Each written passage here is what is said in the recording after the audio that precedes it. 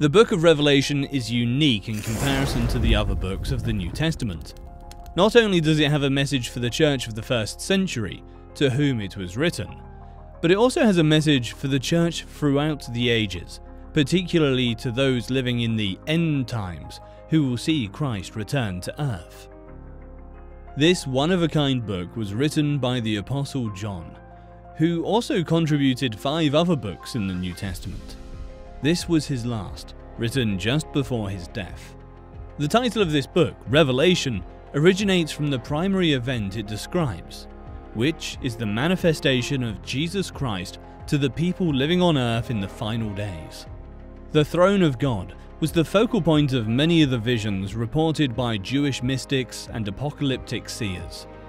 But Revelation opens with Jesus as the revealer. John was to document the things that he had seen. John sees a powerful Jesus that does not compare to any typical man. However, before John sets his gaze on Jesus, he first hears his voice. Revelation 1 10 13. I was in the Spirit, in special communication with the Holy Spirit, and empowered to receive and record the revelation from Jesus Christ on the Lord's day.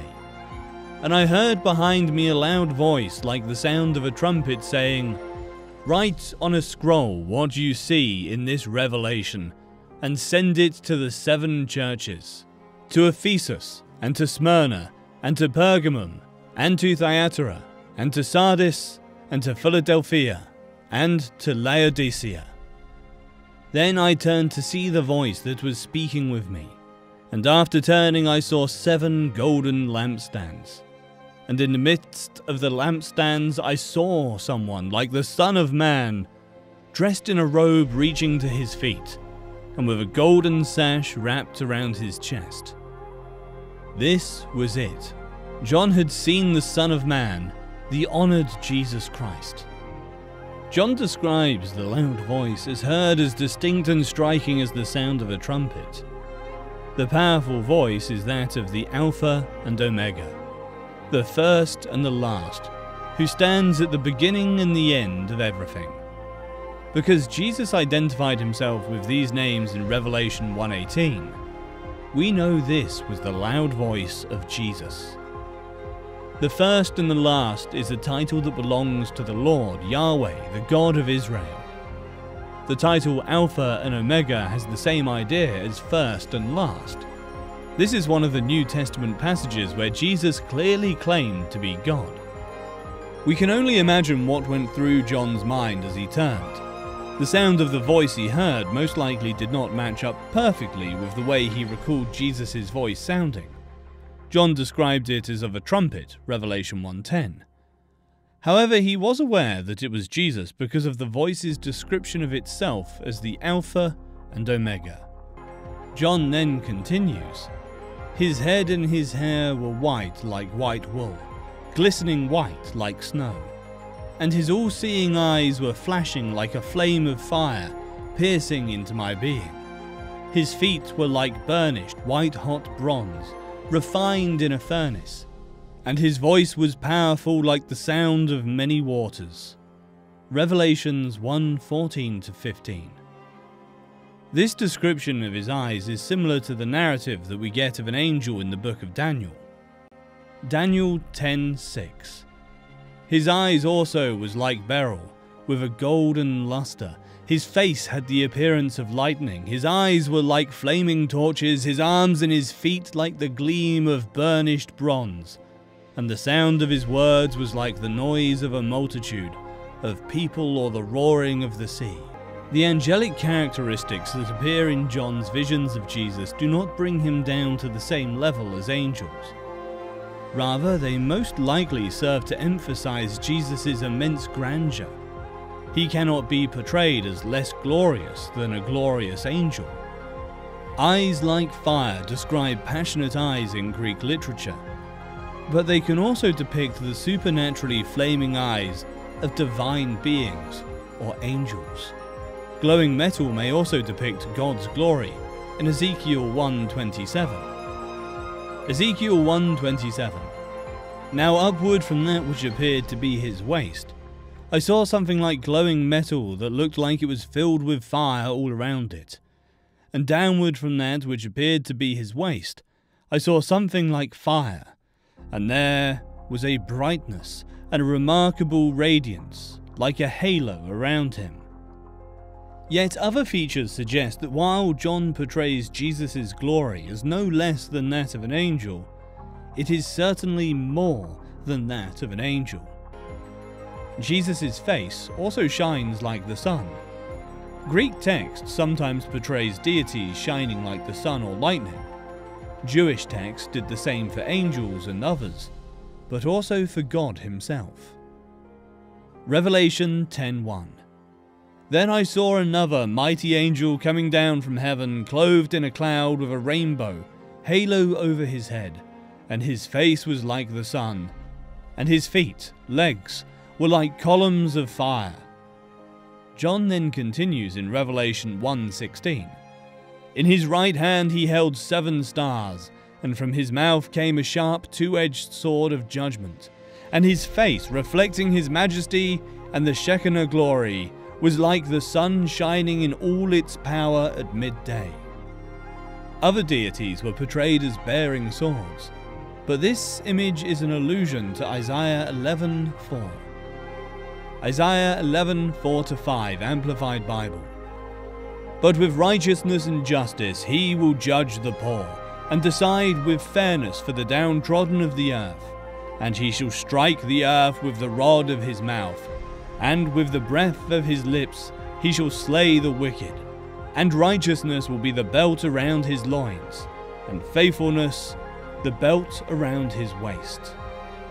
Revelation 1:17 When I saw him I fell at his feet as though dead, and he placed his right hand on me and said, Do not be afraid.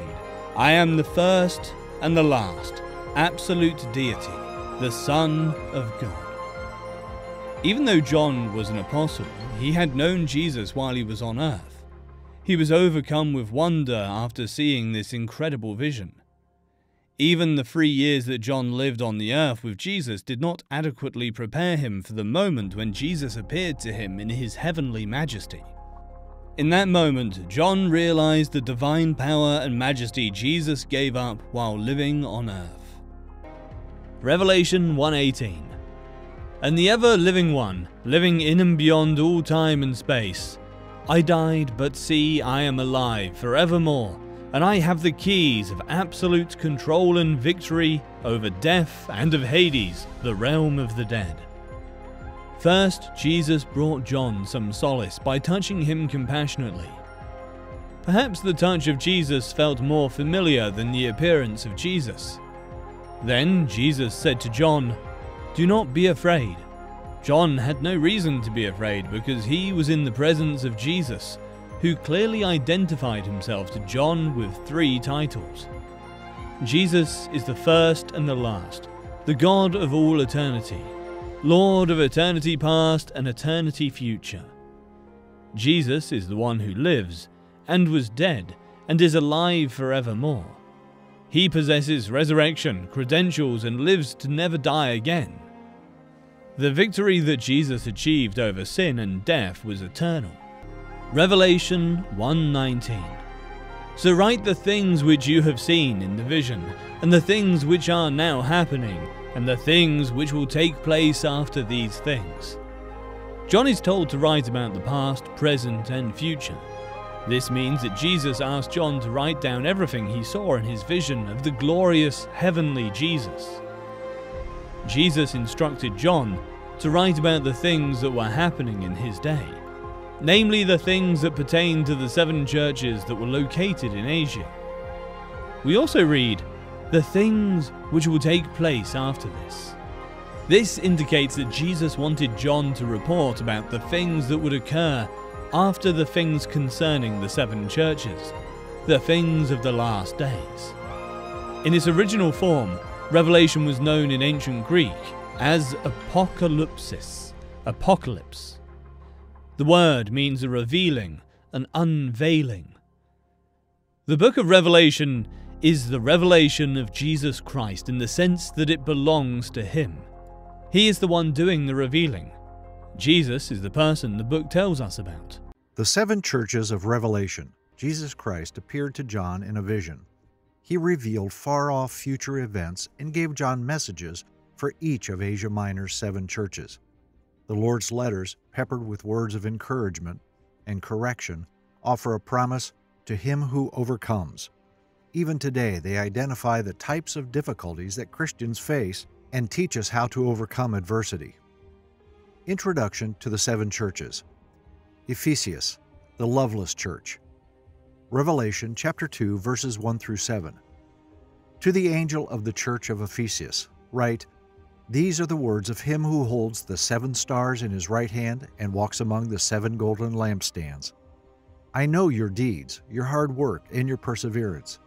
I know that you cannot tolerate wicked people, that you have tested those who claim to be apostles but are not, and have found them false. You have persevered and have endured hardships for my name and have not grown weary. Yet I hold this against you. You have forsaken the love that you had at first. Consider how far you have fallen. Repent and do the things you did at first. If you do not repent, I will come to you and remove your lampstand from its place. But you have this in your favor. You hate the practices of the Nicolaitans, which I also hate. Whoever has ears, let them hear what the Spirit says to the churches. To the one who is victorious, I will give the right to eat from the tree of life, which is in the paradise of God. The church of Ephesus had many admirable characteristics as well as one tragic flaw. Christ praised them for their good works, perseverance, and church discipline that protected them from false teaching. Verse 4 reveals where they went wrong. Nevertheless, I have this against you, that you have left your first love. Everything about the Ephesian church appeared to be in order on the outside, but their hearts were not in it. Faith without works is dead, James said. James chapter 2 verse 26. In this passage, Jesus warns that doing works without love is equally problematic. The devotion of the church to Christ was dwindling. The problem with Ephesus. Christ offered a three-part solution to the church's lack of love. Remember. Remember therefore from where you have fallen. Revelation chapter 2 verse 5. Consider how your relationship with Christ was when you were first saved. Consider what it was like to put your trust in Him for both the smallest and the most important of your needs. Repent.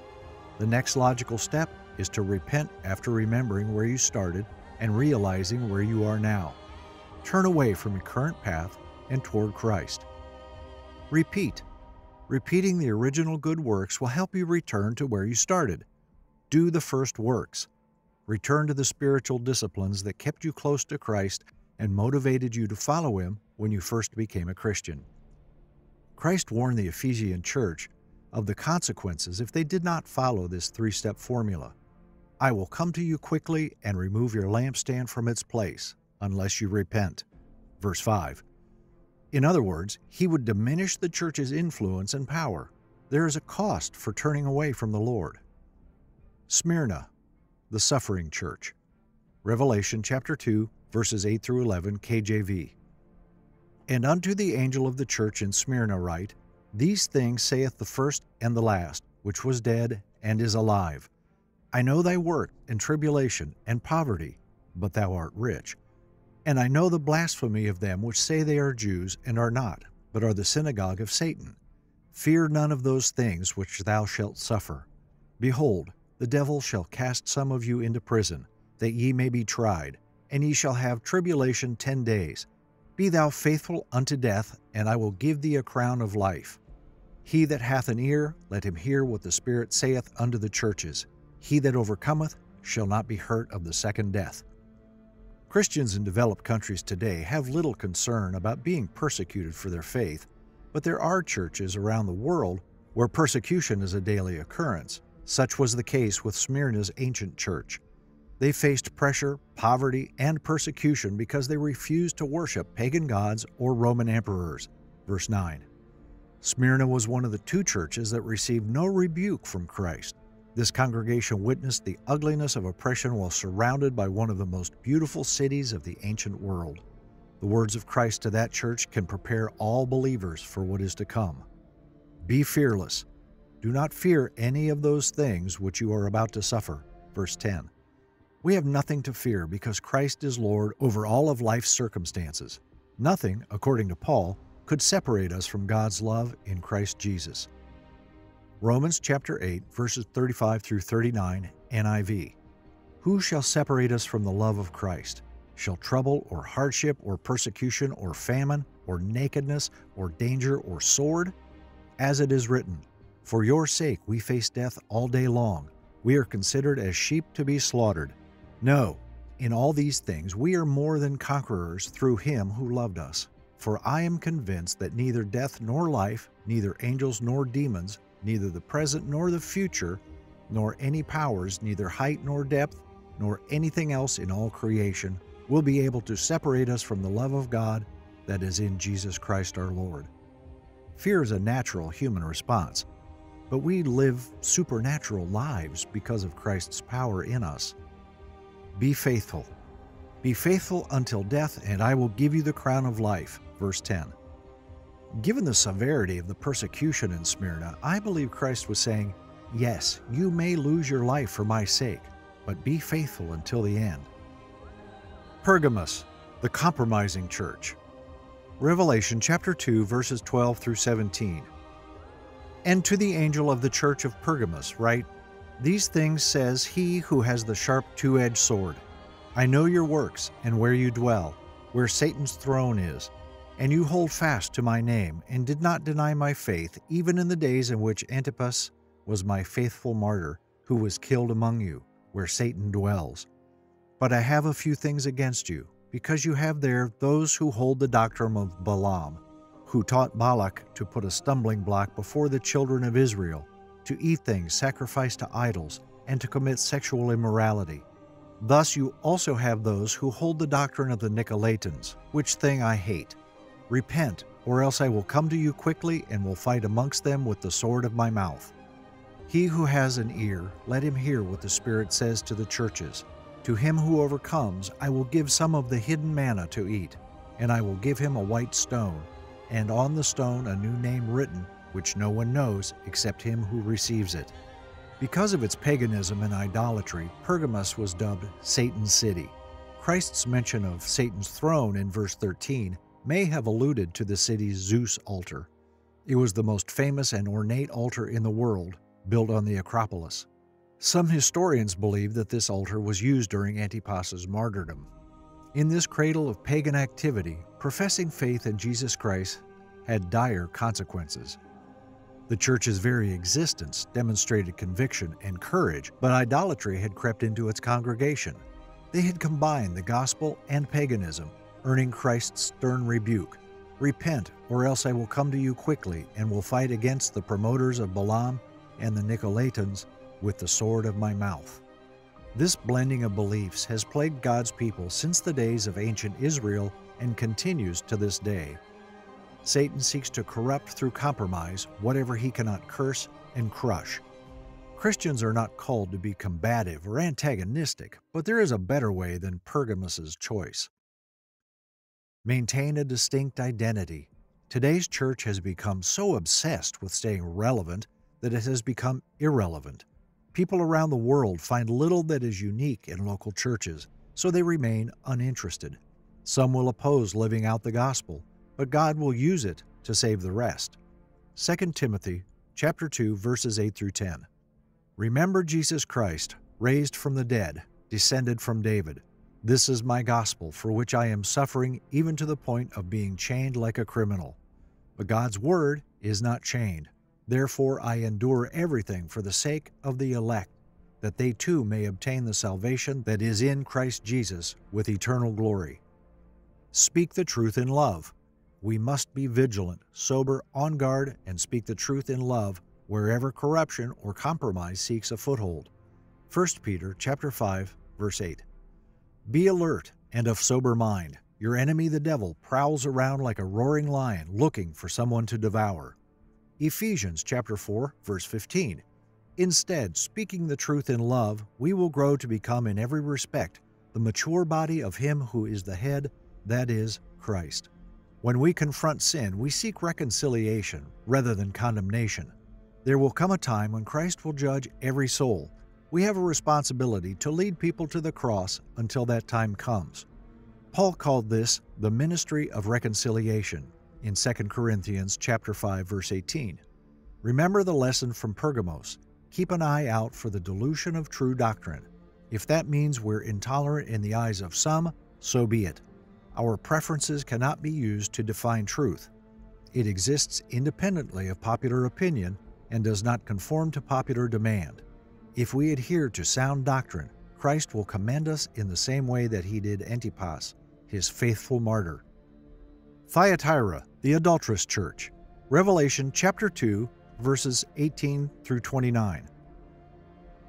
To the angel of the church of Thyatira, write These are the words of the Son of God, whose eyes are like blazing fire and whose feet are like burnished bronze.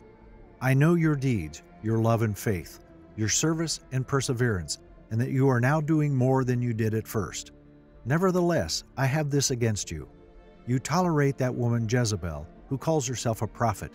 By her teaching, she misleads my servants into sexual immorality and the eating of food sacrificed to idols. I have given her time to repent of her immorality, but she is unwilling. So I will cast her on a bed of suffering, and I will make those who commit adultery with her suffer intensely, unless they repent of her ways. I will strike her children dead.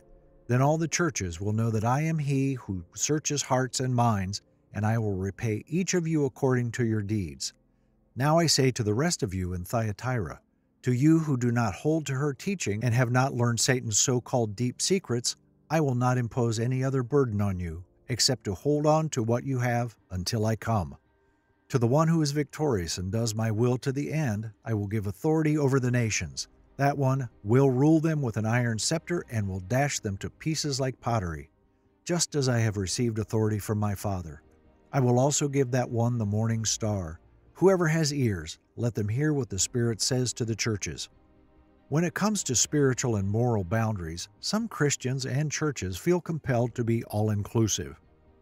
Apparently, the ancient church in Thyatira felt the same way. On the surface, the church's love, faith, service, and patience were admirable, but Christ, with fire like eyes, recognized their deficiency. The one who searches the minds and hearts saw through their facades and into the heart of the problem immorality. It only took one person, a self proclaimed prophetess, according to verse 20, to corrupt the church. What does Christ have to say to a church that tolerates immorality? The threat of discipline. When the prophetess declined to repent, Christ warned of his judgment.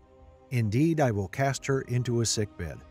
Whether taken proverbially or literally, those words are forewarning. God is holy, and he will not tolerate rebellion indefinitely. As Hebrews chapter 10 verse 31 says, it is a fearful thing to fall into the hands of the living God.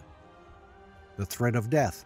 Revelation chapter 2 verses 22 and 23 NIV. So I will cast her on a bed of suffering, and I will make those who commit adultery with her suffer intensely, unless they repent of her ways. I will strike her children dead. Then all the churches will know that I am he who searches hearts and minds, and I will repay each of you according to your deeds. This warning was not only directed at her, but also at those who commit adultery with her. Christ was prepared to judge anyone who was complicit in the woman's immorality. If they did not repent, they would face great tribulation. The message to the Christians. Revelation chapter 2 verses 24 and 25. Now I say to the rest of you in Thyatira, to you who do not hold to her teaching and have not learned Satan's so called deep secrets, I will not impose any other burden on you, except to hold on to what you have until I come. Not every Thyatira believer was immoral. Some were well aware of God's holy standards and refused to deviate from them. The message to those who did not participate in the immorality cult was to stand firm. Hold fast what you have till I come verse 25. The message to the conquerors, Revelation chapter 2, verses 26 through 29. To the one who is victorious and does my will to the end, I will give authority over the nations. That one will rule them with an iron scepter and will dash them to pieces like pottery, just as I have received authority from my Father. I will also give that one the morning star. Whoever has ears, let them hear what the Spirit says to the churches. All who choose to be faithful until the end will be victorious. They would rule the nations alongside Christ during the millennium, and they would be raptured to heaven with him, the bright and morning star, before the tribulation. Sardis, the dead church. Revelation chapter 3, verses 1 through 6. To the angel of the church in Sardis write, These are the words of him who holds the seven spirits of God and the seven stars. I know your deeds. You have a reputation of being alive, but you are dead. Wake up, strengthen what remains and is about to die, for I have found your deeds unfinished in the sight of my God. Remember, therefore, what you have received and heard, hold it fast, and repent. But if you do not wake up, I will come like a thief, and you will not know at what time I will come to you. Yet you have a few people in Sardis who have not soiled their clothes. They will walk with me, dressed in white, for they are worthy. The one who is victorious will, like them, be dressed in white. I will never blot out the name of that person from the book of life, but will acknowledge that name before my Father and his angels. Whoever has ears, let them hear what the Spirit says to the churches. Christ refers to himself in this message as He who has the seven spirits of God and the seven stars. Verse 1. The seven spirits represent the fullness of the Holy Spirit's ministry. Chapter 5, verse 6, Isaiah chapter 11, verses 2 through 5, which the Sardinian church had excluded from its affairs. The lights were turned on, and people arrived, but the power of the Holy Spirit was lacking. Christ gave both praise and criticism to the other churches. There were no compliments in this church, only condemnation. I know your works, that you have a name that you are alive, but you are dead. The place was full of what we today would call nominal Christians, Christians in name only. Christ gave five instructions for the church that is dead. Be sensitive to sin. We're not only to be awake, but to be watchful. From children's classes to the pulpit, teaching must be in accord with God's Word. Falling away from doctrine results in spiritual death. Be submissive to the control of the Holy Spirit. Only through the ministry of the Holy Spirit do we hear and receive God's words in a life changing way. A church dies when the Holy Spirit departs, is grieved, or is quenched. Ephesians chapter 4 verse 30, 1 Thessalonians chapter 5 verse 19. When a person's spirit departs, his or her body dies, and the same is true for a church. Be subject to the authority of God's Word. Hold fast is usually associated with God's Word. If a church keeps the Word, it means that the Bible will be honored and faithfully taught. When a church abandons the Bible, the Holy Spirit loses his primary tool for transforming believers into the image of Christ. Be sorry and repent of sin. If you want to get back on track with God, the answer is always the same repent. Return to the truth of God's Word and flee from sin. Churches perish as a result of the sinfulness of their members. Churches, on the other hand, atone through the repentance of their members. Despite its flaws, Christ offered Sardis hope. The church could experience eternal life if it returned to obeying his commands. Philadelphia, the faithful church. Revelation chapter 3, verses 7 through 13. And to the angel of the church in Philadelphia write, These things says he who is holy, he who is true, he who has the key of David, he who opens and no one shuts, and shuts and no one opens. I know your works. See, I have set before you an open door, and no one can shut it. For you have a little strength, have kept my word, and have not denied my name. Indeed, I will make those of the synagogue of Satan who say they are Jews and are not, but lie. Indeed, I will make them come and worship before your feet, and to know that I have loved you. Because you have kept my command to persevere, I also will keep you from the hour of trial which shall come upon the whole world, to test those who dwell on the earth. Behold, I am coming quickly. Hold fast what you have, that no one may take your crown. He who overcomes, I will make him a pillar in the temple of my God, and he shall go out no more. I will write on him the name of my God and the name of the city of my God, the New Jerusalem, which comes down out of heaven for my God. And I will write on him my new name. He who has an ear, let him hear what the Spirit says to the churches. Christ praised the Philadelphia church for four things they had an open door, they had little strength, they had kept God's word, and they had not denied the Lord. If we want to be commended by Christ, we will go through open doors of ministry, rely on His strength, and be faithful to Him and His Word. What does this have to do with us today? If Christ is present and the church is committed to Him, a door of opportunity for ministry will open. Every church should pray for those doors to be recognized and opened. We rely on the church's head to provide the necessary strength to his body. In verse 8, Christ sums up three principles that apply to all churches open doors for ministry, relying on Christ's strength and keeping God's word, being obedient to God's word will result in new opportunities for ministry and reliance on God's power. Everything else will fall into place when the Word of God is prioritized. Because the church belongs to Christ, we are to identify with Him boldly, no matter the cost. We proclaim His name as the Bible does, as the only name through which we can be saved. Acts chapter 4, verse 12. Salvation is found in no one else, for there is no other name under heaven given to mankind by which we must be saved. Laodicea, the lukewarm church. Revelation chapter 3 verses 14 through 22. To the angel of the church of Laodicea, write, These are the words of the Amen, the faithful and true witness, the ruler of God's creation. I know your deeds, that you are neither cold nor hot. I wish you were either one or the other. So because you are lukewarm, neither hot nor cold, I am about to spit you out of my mouth. You say, I am rich, I have acquired wealth, and do not need a thing. But you do not realize that you are wretched, pitiful, poor, blind, and naked. I counsel you to buy from me gold refined in the fire, so you can become rich, and white clothes to wear, so you can cover your shameful nakedness, and salve to put on your eyes, so you can see. Those whom I love I rebuke and discipline, so be earnest and repent. Here I am. I stand at the door and knock. If anyone hears my voice and opens the door, I will come in and eat with that person, and they with me. To the one who is victorious, I will give the right to sit with me on my throne, just as I was victorious and sat down with my Father on his throne. Whoever has ears, let them hear what the Spirit says to the churches.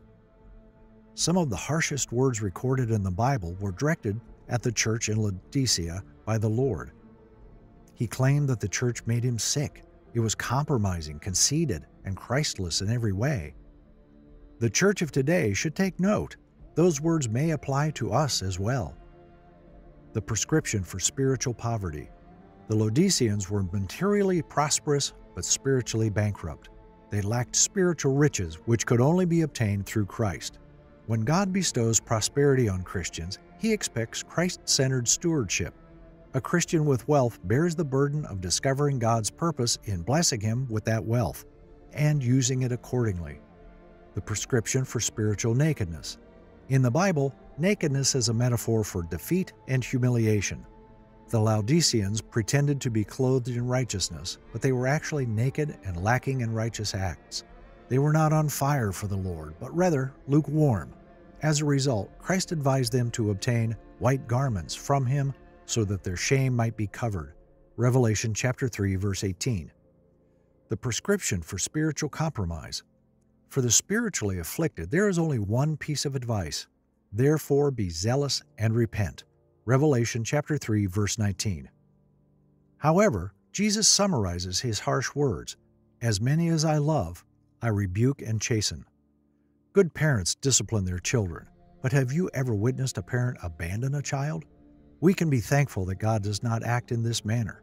He loves us too much to abandon us as we are, and He longs for us to return to Him when we need to. The prescription for their Christlessness. Christ does not storm into unwelcome churches. Instead, he waits for an invitation. Behold, I will stand at the door and knock. If anyone hears my voice and opens the door, I will come in to him and dine with him, and he with me. Revelation chapter 3 verse 20. There were apparently even fewer believers in Laodicea than in Sardis. His invitation extends to anyone who hears his voice, Laodicea, from a prophetic standpoint, represents the church in the end times. It's heartbreaking to think of Christ standing outside his own church, but we must ask ourselves if this is a reflection of ourselves. Is the Lord being pushed out of our gatherings? Is His Word being tainted in our pulpits? Are we too preoccupied with our plans and programs to notice that we have crowded Him out? If Christ is knocking on your heart's door or your church's door, don't be reluctant. In the book of Revelation, we see John guided to see the throne in heaven. Revelation 4:1. After this I looked, and there before me was a door standing open in heaven. And the voice I had first heard speaking to me like a trumpet said, Come up here, and I will show you what must take place after this. The phrase after this marks a transition to the third section of the book. John had previously witnessed the messages to the churches on earth. Now, he focuses not on earth, but on heaven. Many elements of John's next vision are similar to those of Ezekiel's first vision, which also begins with heaven being opened. This same voice, which instructed him earlier to write to the seven churches, now invites him to leave Earth and enter the heavenly realm. What John sees next is what will take place later. John's heavenly experience is highly sensory, with bright colors, loud sounds, and exotic smells that continue throughout the vision. Revelation 4 2 At once I was in the Spirit, and there before me was a throne in heaven with someone sitting on it. While in the Spirit, John sees a heavenly throne occupied by an otherworldly figure. At his commission, Isaiah likewise saw the Lord seated on a throne, high and exalted. In verse 2, a key phrase is in the Spirit. Anything done in the Spirit is a command to enter the spiritual perspective. That is, to be able to see things that physical eyes cannot see, such as when believers are instructed to pray in the Spirit. Jude 20. But you, dear friends, must build each other up in your most holy faith pray in the power of the Holy Spirit. Because he was writing Holy Scripture, certain aspects of John's experience of being in the Spirit were bound to be unique and unrepeatable. However, much of it is repeatable. Believers today can abide in the Spirit, receiving understanding of God's will and work. Too often, though, we merely visit the Spirit, so to speak, without living with Him in a condition of heightened spiritual awareness. With the right spiritual perspective, John sees God's throne in heaven, his perspective is similar to that depicted in Isaiah 6, verses 1 to 8, where the prophet saw the Lord seated on a high and lofty throne, and the hem of his robe filled the temple as seraphim stood above him. And the one who sat there had the appearance of jasper and ruby. A rainbow that shone like an emerald encircled the throne. The description of God as having the appearance of precious stones, jasper and carnelian, refers to his value and elegance. Every time a rainbow appears in the Bible, it serves as a reminder of God's faithfulness. The divine figure is reminiscent of two precious stones, jasper and carnelian, according to John. Carnelian is a translucent red or yellowish red, whereas jasper is usually an opaque red, brown, or yellow color. Carnelian was highly valued by the Greeks and Romans, especially in jewelry making. The rainbow that encircles the throne is likened to a green emerald. Later, the three stones are used to describe the New Jerusalem. Ezekiel compared the heavenly throne to a precious stone, in his case, a sapphire, and the radiance of the figure on it to a rainbow in the clouds on a rainy day in his heavenly vision. Revelation 4 4. Surrounding the throne were 24 other thrones, and seated on them were 24 elders. They were dressed in white and had crowns of gold on their heads. The appearance of these elders is striking. Their white garments, crowns, and thrones are eschatological rewards already promised to the victors. All the angels were standing around the throne and around the elders and the four living creatures. They fell down on their faces before the throne and worshipped God. These elders, with their golden incense bowls, later serve as saints' representative priests. Revelation 4, verses 5 to 7. From the throne came flashes of lightning, rumblings, and peals of thunder. In front of the throne, seven lamps were blazing. These are the seven spirits of God. Also in front of the throne, there was what looked like a sea of glass, clear as crystal. In the center, around the throne, were four living creatures, and they were covered with eyes in front and in back. The first living creature was like a lion, the second was like an ox, the third had a face like a man, the fourth was like a flying eagle. The power and majesty of God are depicted by flashes of lightning and peals of thunder.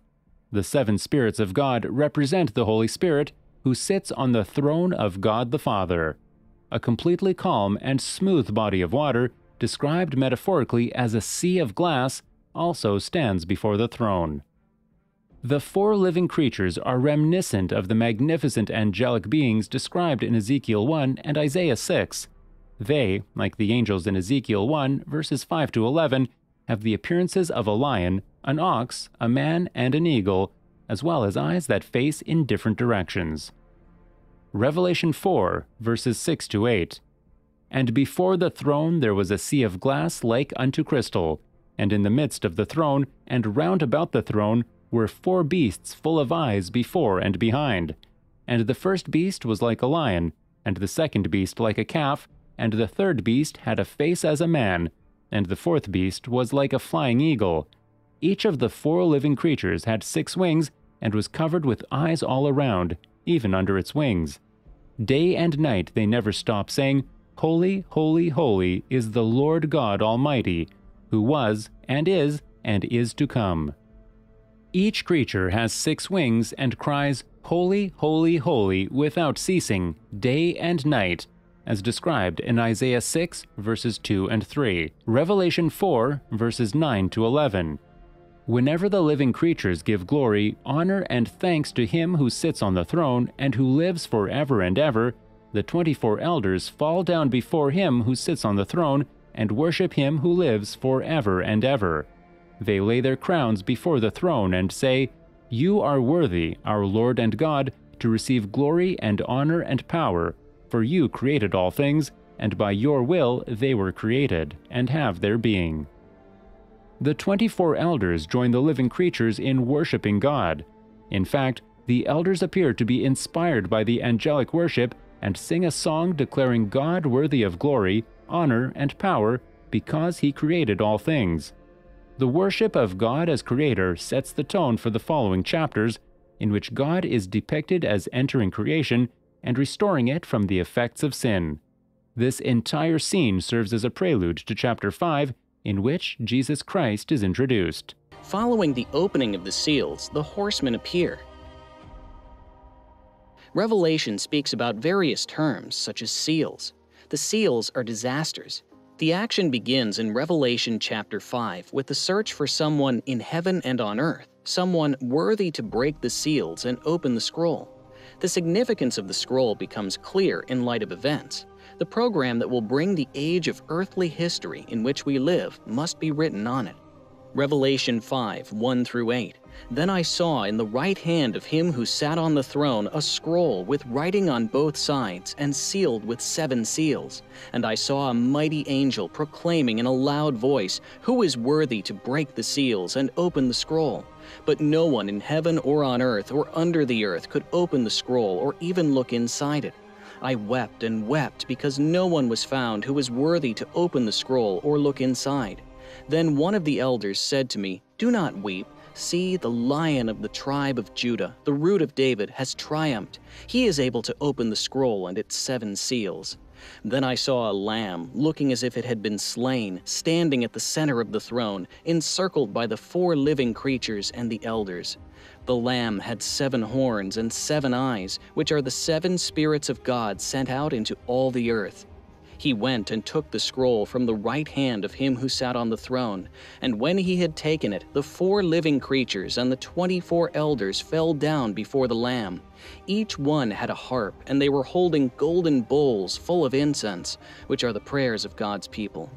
Christ was the only one found worthy to open the scroll, the title deed to the universe in Revelation chapter 5.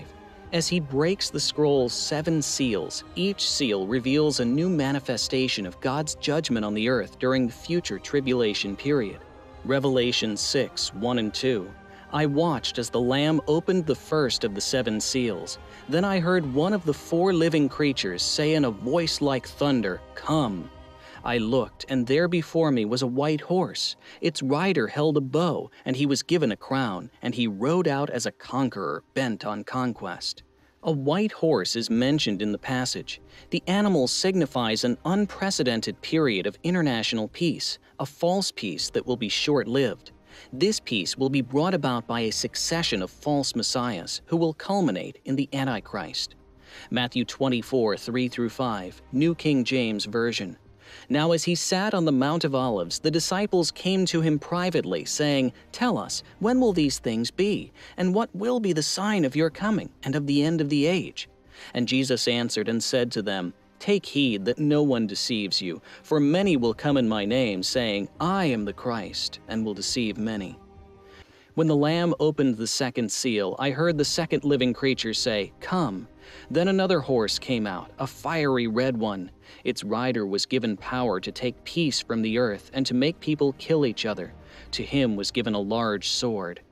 6 4. Another horse, fiery red. Its blood red appearance speaks of the holocaust of war. Matthew 24 7, New King James Version. For nation will rise against nation, and kingdom against kingdom, and there will be famines, pestilences, and earthquakes in various places. This horse and its rider have the ability to wreak global havoc through the use of weapons of mass destruction. However, as horrifying as this judgment is, it will only be the birth pangs or the first signs of God's wrath and will pass quickly.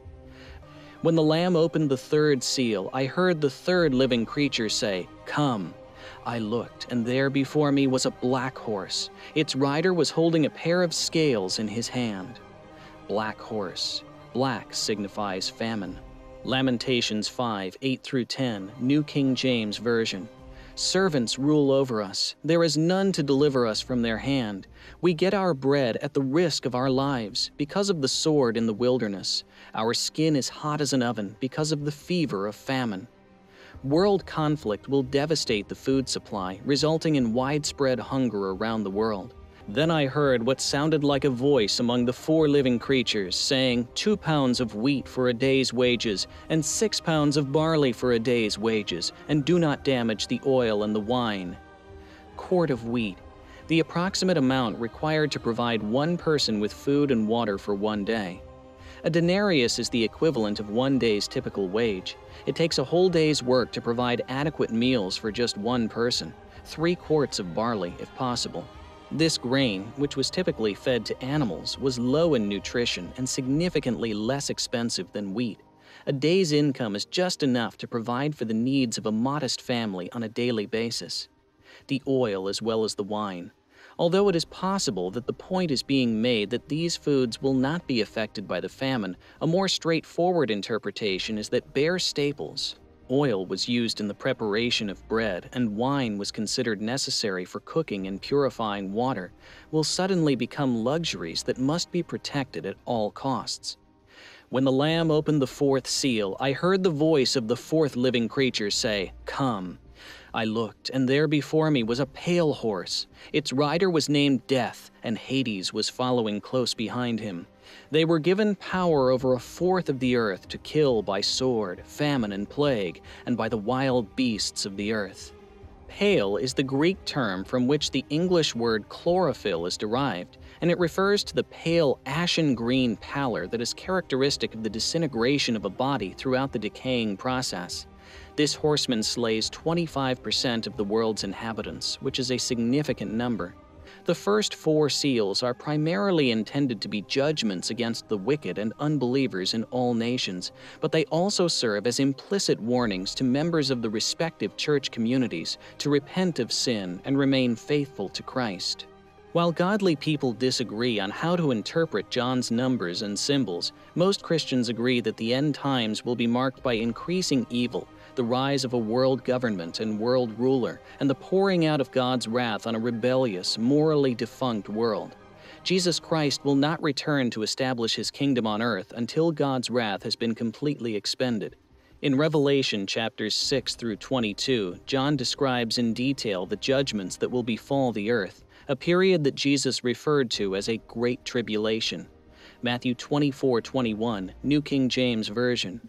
For then there will be great tribulation, such as has not been seen since the beginning of the world until this time, no, nor ever shall be.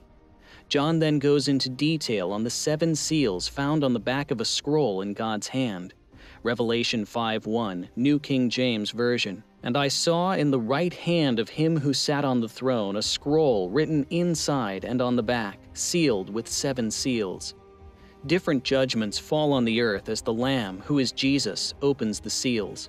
In addition, when each seal is broken, the living creatures surrounding the throne cry out, Come and see, and horses appear.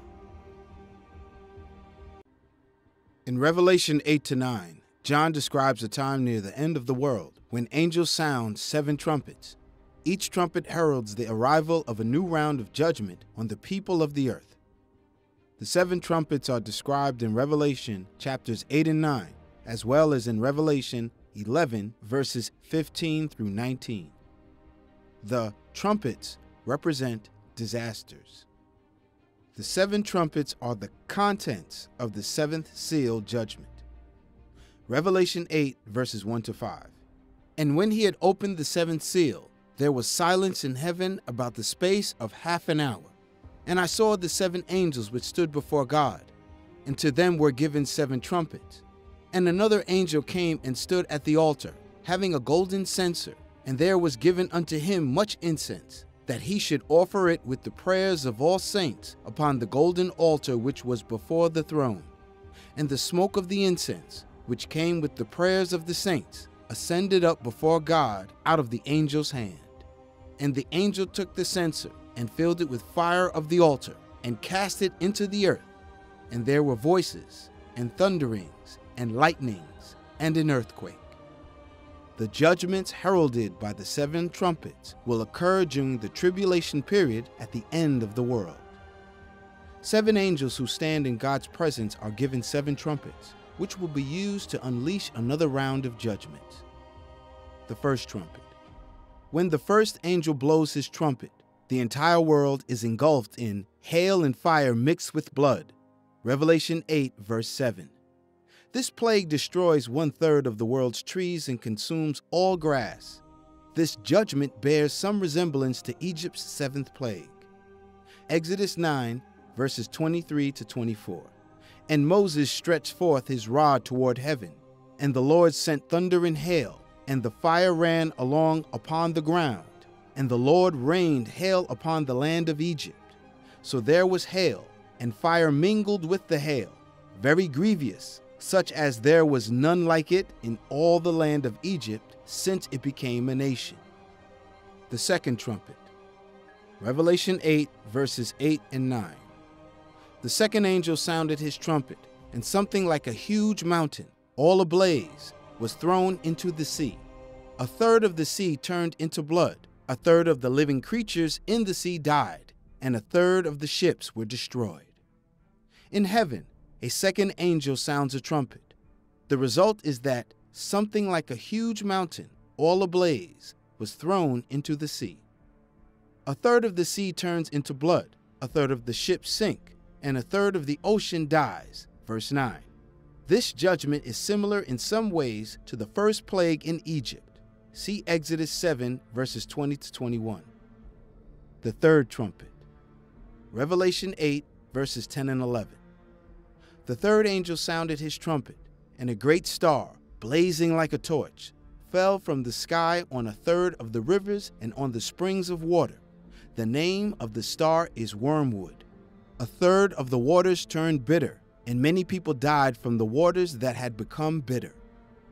The third trumpet judgment is like the second, except it affects the world's freshwater lakes and rivers instead of the oceans.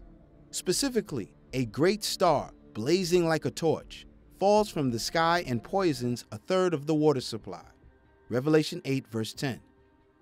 Wormwood is the name given to this star, and many people die as a result. Verse 11. Wormwood, Artemisia absinthium, is a shrub like plant known for its extreme bitterness and poisonous properties in botany. The fourth trumpet. The fourth angel sounded his trumpet, and a third of the sun was struck and a third of the moon, and a third of the stars, so that a third of them turned dark. A third of the day was without light, and also a third of the night. As I watched, I heard an eagle that was flying in midair call out in a loud voice Woe, woe, woe to the inhabitants of the earth, because of the trumpet blast about, to be sounded by the other three angels. Revelation 8, verses 12 to 13. The fourth of the seven trumpets bring about changes in the heavens.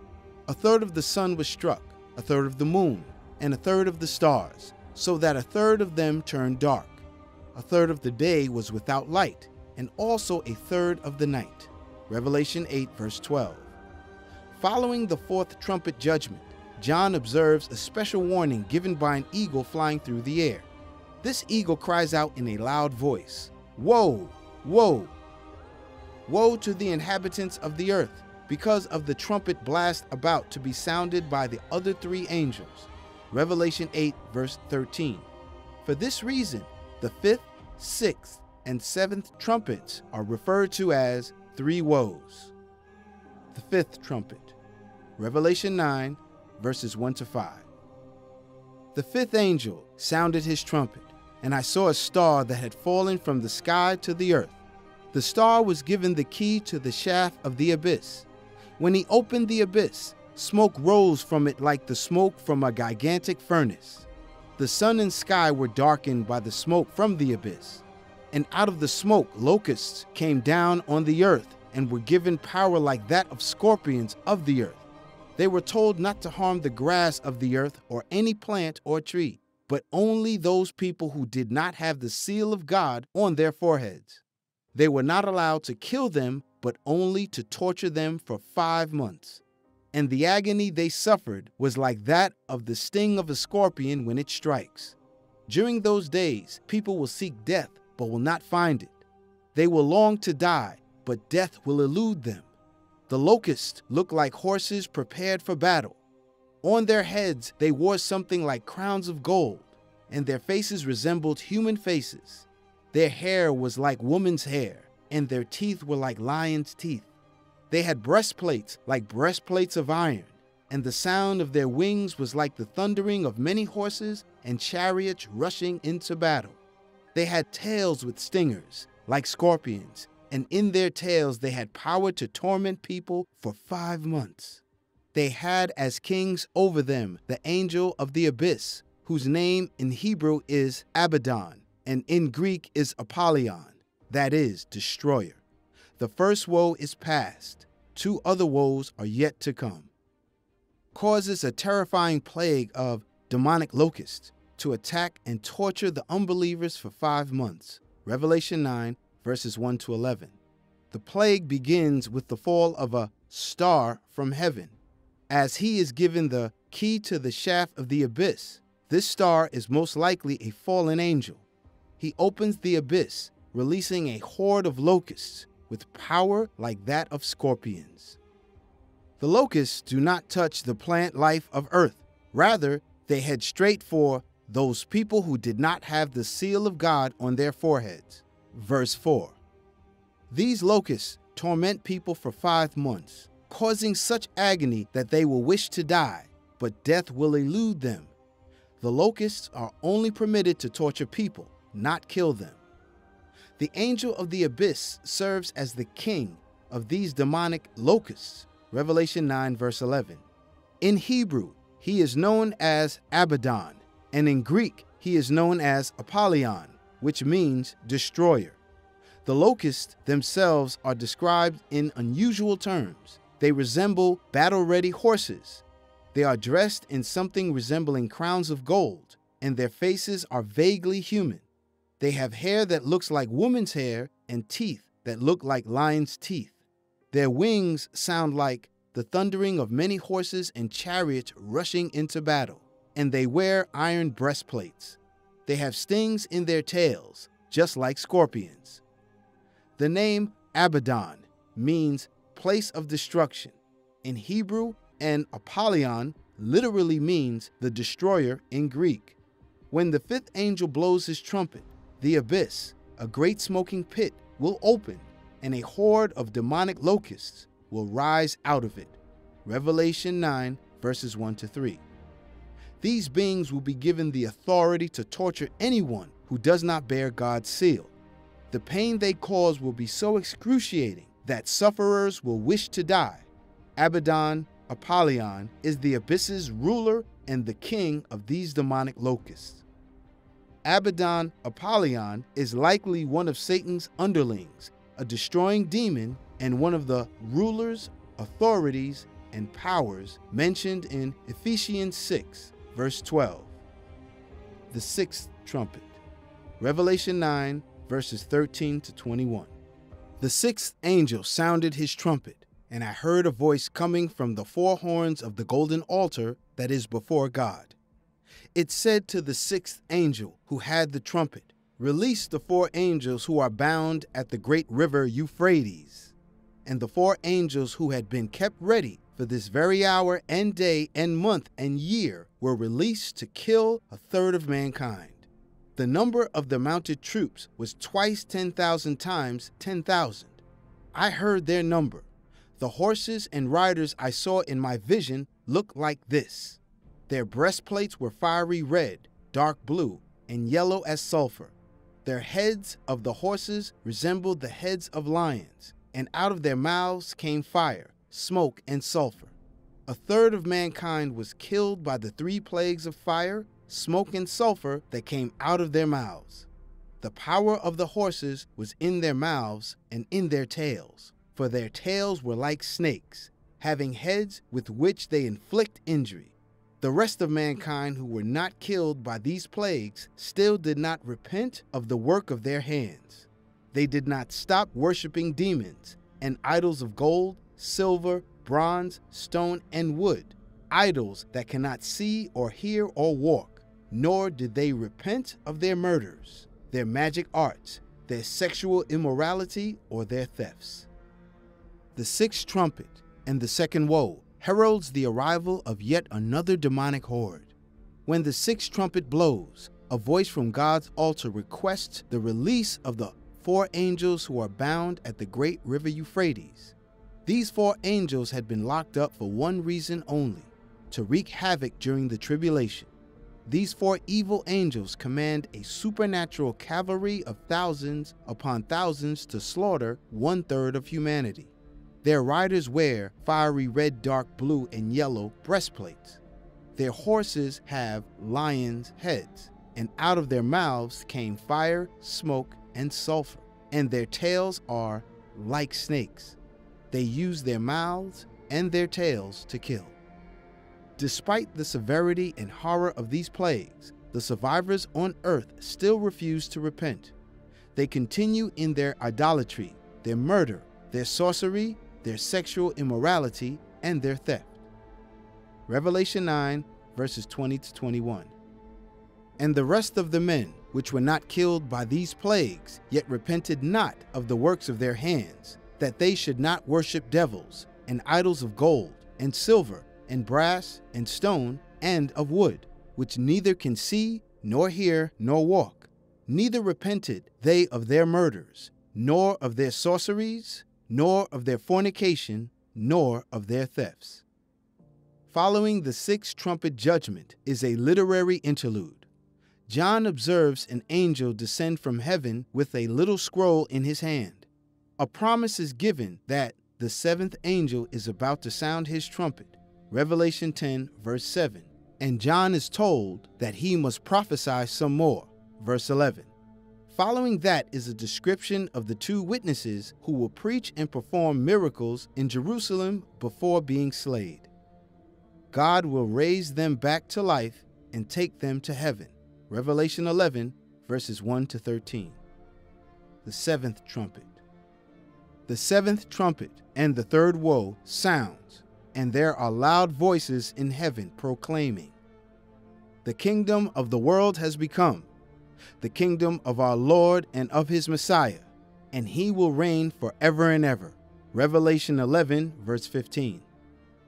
The 24 elders say, The time has come for destroying those who destroy the earth. Obviously, God is about to wrap things up once and for all.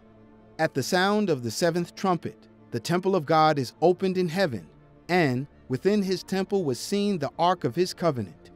And there came flashes of lightning, rumblings, pearls of thunder, an earthquake, and a severe hailstorm. Verse 19. The seven trumpet judgments have come to an end. All is set for the seven angels with the seven bowls of God's wrath. These angels stand inside the now open temple, ready to step forward and bring the final judgments on the earth. Revelation 15. To set the context for Revelation chapter 9 verse 11 when Apollyon shows up. In Revelation 8 and 9, John describes a period during the end times when angels sound seven trumpets. Each trumpet heralds the approach of a fresh judgment that will fall upon the inhabitants of earth. Immediately after the fifth angel blew his trumpet, a star fell from the sky to the earth. This star opened the abyss. Revelation chapter 9 verse 2. Unleashing a battalion of demonic soldiers, likened to a plague of locusts resembling horses prepared for battle. Revelation chapter 9 verse 7. By this time, there had already been hail and fire mixed with blood, and it was hurled down on the earth. A third of the earth was burned up, a third of the trees were burned up, and all the green grass was burned up. Next, something like a huge mountain, all ablaze, was thrown into the sea. This event marks the beginning of the end, during which Satan and the armies under his control will be unleashed. He will be permitted to take those who reject Christ as king during the cleansing of the whole earth, to make way for a new heaven and a new earth. These beings will be granted the authority to inflict unimaginable torment on anyone who does not wear the seal of God. The pain they inflict will be so intense that sufferers will wish to die. Abaddon, or Apollyon, is the ruler of the abyss and the king of these demonic locusts. Since this is the king of locusts, and since he has a name Abaddon or Apollyon, this is a high ranking leader of demons. The two beasts. In the book of Revelation, chapters 12 through 14, the final series of disasters is about to occur. It will be the toughest for the church. Even though their hold on civilization is about to be destroyed, demonic powers will get a more significant foothold in it than they have ever had before.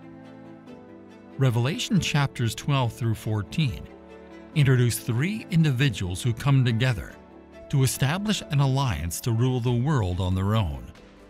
One is angelic in origin and nature, a great dragon and ancient serpent, otherwise known as Satan or the devil. Revelation chapter 12 verse 9 And the great dragon was thrown down, the age-old serpent who was called the devil and Satan. He who continually deceives and seduces the entire inhabited world.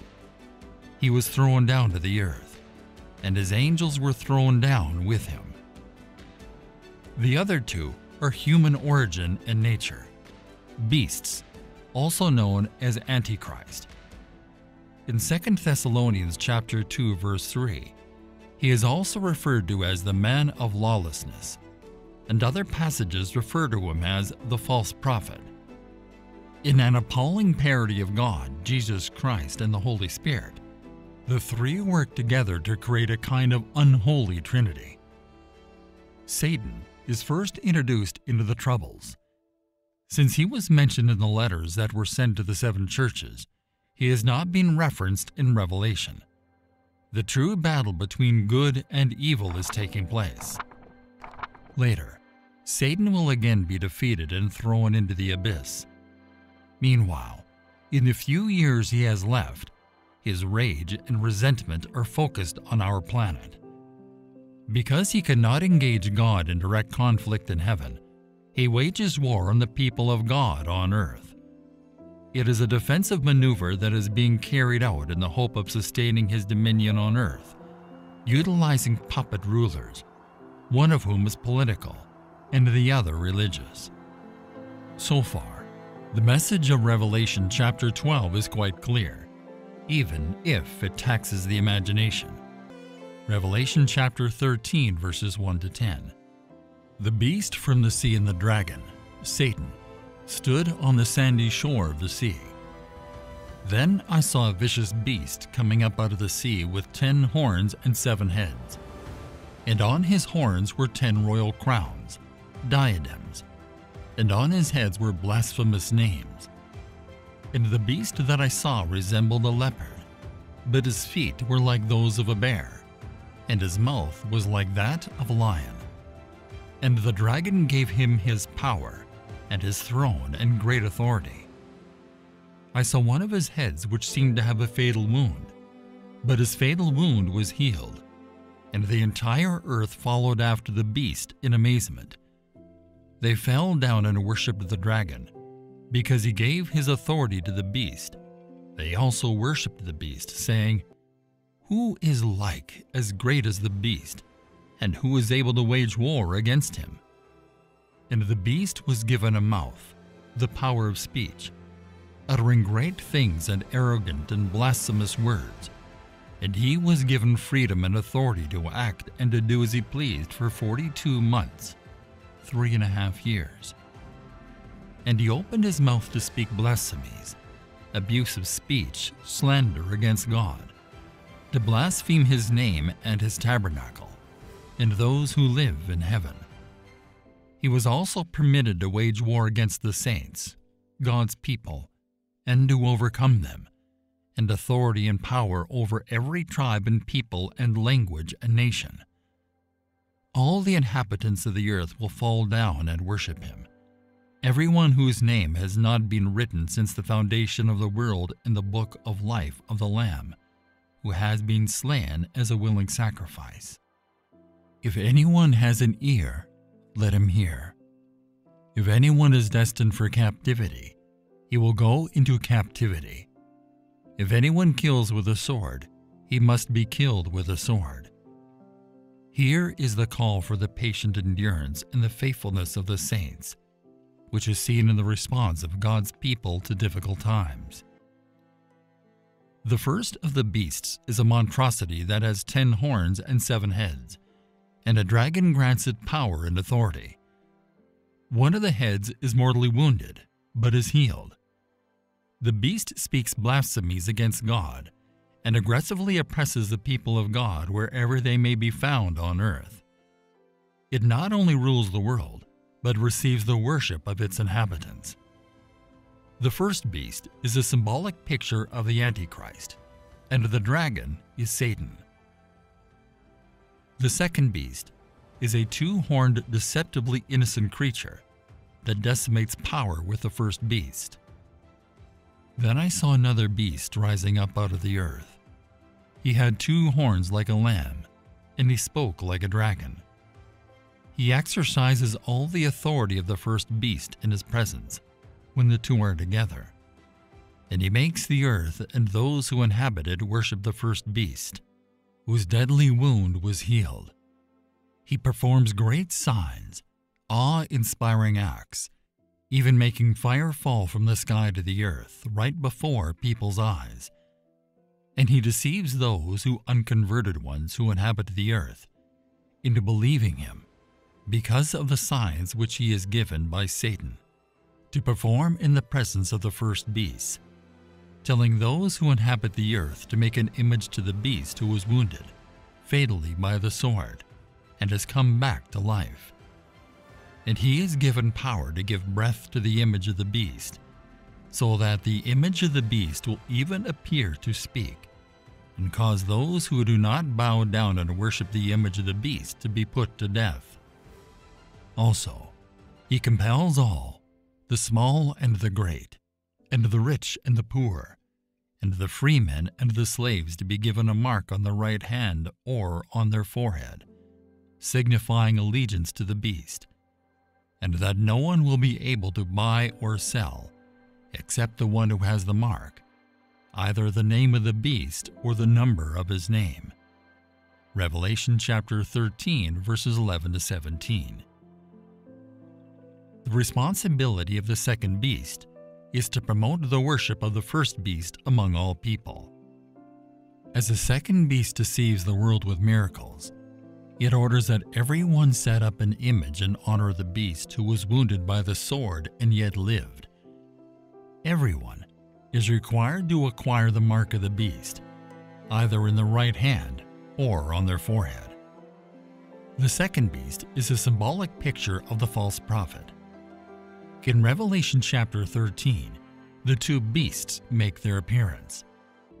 The first and most important one is a political person, specifically, a global dictator who rules all known ethnic subgroups under a totalitarian system.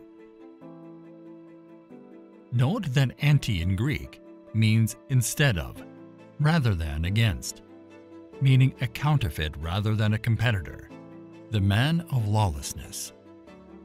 2 Thessalonians chapter 2 verses 3 and 4.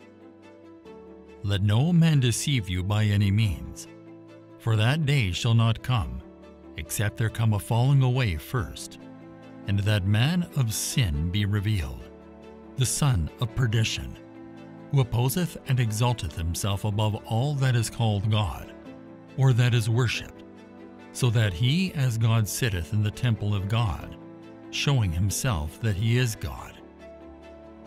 He acknowledged no higher law than his own will, and as a result, claimed divinity and demanded devotion as a result. The beast is a human person who gives into Satan's temptation and accepts the offer that Jesus turned down. Matthew chapter 4 verses 8 and 9. Again, the devil taketh him up into an exceeding high mountain, and sheweth him all the kingdoms of the world, and the glory of them, and saith unto him, All these things will I give thee, if thou wilt fall down and worship me. Had he accepted, he would have become Jesus' Antichrist. The beast is also anti Christian in the other sense of this prefix. He has the power to make war against the saints and overcome them. Revelation chapter 13, verse 7. And it was given unto him to make war with the saints, and to overcome them. And power was given him over all kindreds and tongues and nations. He overcomes them temporarily, but they conquer him eternally. Revelation chapter 12, verse 11. And they overcame and conquered him because of the blood of the Lamb, and because of the word of their testimony. For they did not love their life and renounce their faith, even when faced with death. Revelation chapter 13, verses 1 to 10. The beast from the sea and the dragon, Satan, stood on the sandy shore of the sea then I saw a vicious beast coming up out of the sea with ten horns and seven heads. And on his horns were ten royal crowns, diadems, and on his heads were blasphemous names. And the beast that I saw resembled a leopard, but his feet were like those of a bear, and his mouth was like that of a lion. And the dragon gave him his power, and his throne and great authority I saw one of his heads which seemed to have a fatal wound, but his fatal wound was healed, and the entire earth followed after the beast in amazement. They fell down and worshipped the dragon, because he gave his authority to the beast. They also worshipped the beast, saying, Who is like as great as the beast, and who is able to wage war against him? And the beast was given a mouth, the power of speech uttering great things and arrogant and blasphemous words. And he was given freedom and authority to act and to do as he pleased for 42 months, three and a half years. And he opened his mouth to speak blasphemies, abusive speech, slander against God, to blaspheme his name and his tabernacle, and those who live in heaven. He was also permitted to wage war against the saints, God's people, and to overcome them, and authority and power over every tribe and people and language and nation. All the inhabitants of the earth will fall down and worship him. everyone whose name has not been written since the foundation of the world in the book of life of the Lamb, who has been slain as a willing sacrifice. If anyone has an ear, let him hear. If anyone is destined for captivity, he will go into captivity. Then I saw another beast rising up out of the earth. He had two horns like a lamb, and he spoke like a dragon. He exercises all the authority of the first beast in his presence when the two are together. And he makes the earth and those who inhabit it worship the first beast, whose deadly wound was healed. He performs great signs, awe inspiring acts, even making fire fall from the sky to the earth right before people's eyes. And he deceives those who unconverted ones who inhabit the earth into believing him because of the signs which he is given by Satan to perform in the presence of the first beast, telling those who inhabit the earth to make an image to the beast who was wounded fatally by the sword and has come back to life and he is given power to give breath to the image of the beast, so that the image of the beast will even appear to speak, and cause those who do not bow down and worship the image of the beast to be put to death. Also, he compels all, the small and the great, and the rich and the poor, and the freemen and the slaves to be given a mark on the right hand or on their forehead, signifying allegiance to the beast and that no one will be able to buy or sell except the one who has the mark, either the name of the beast or the number of his name.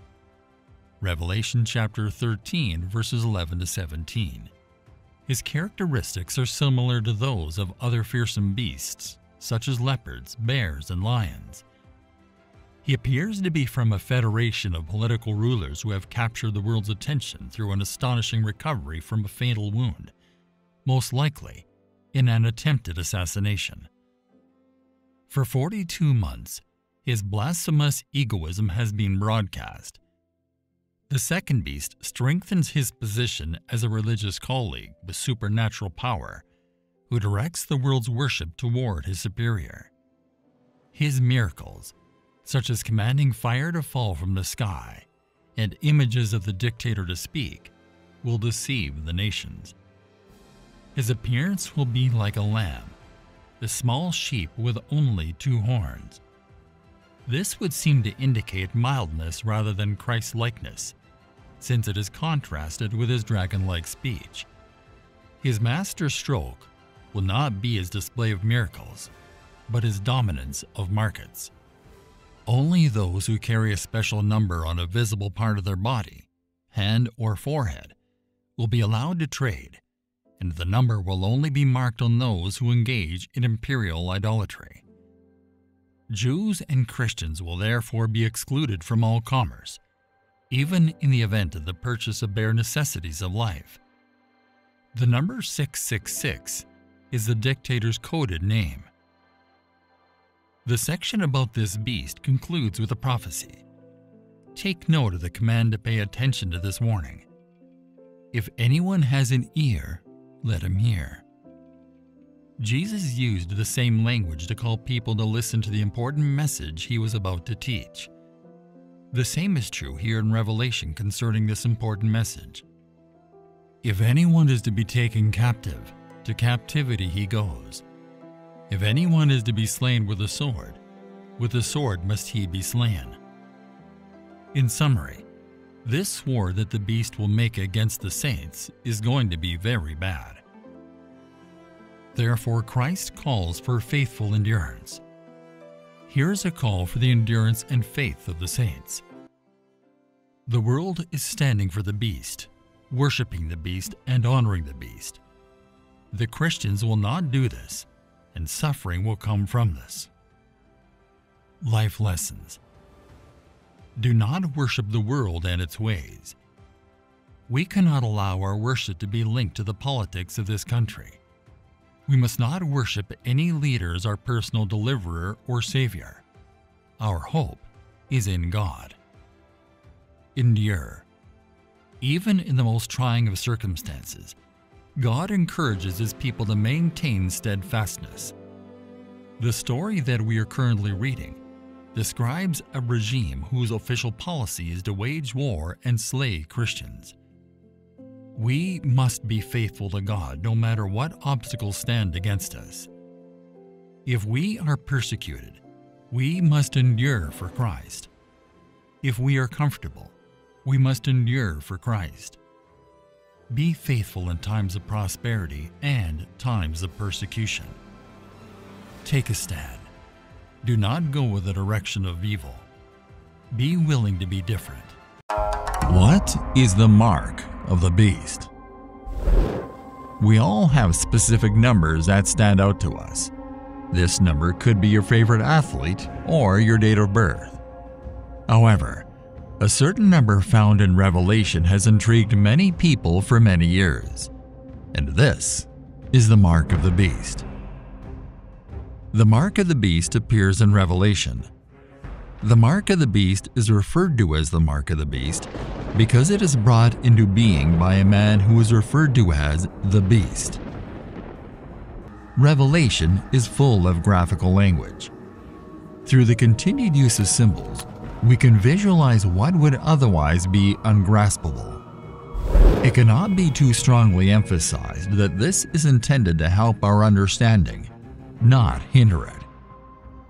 So many individuals have used the highly symbolic nature of the book of Revelation to neglect or even dismiss its instruction, as if the symbols are too vague to convey a clear message.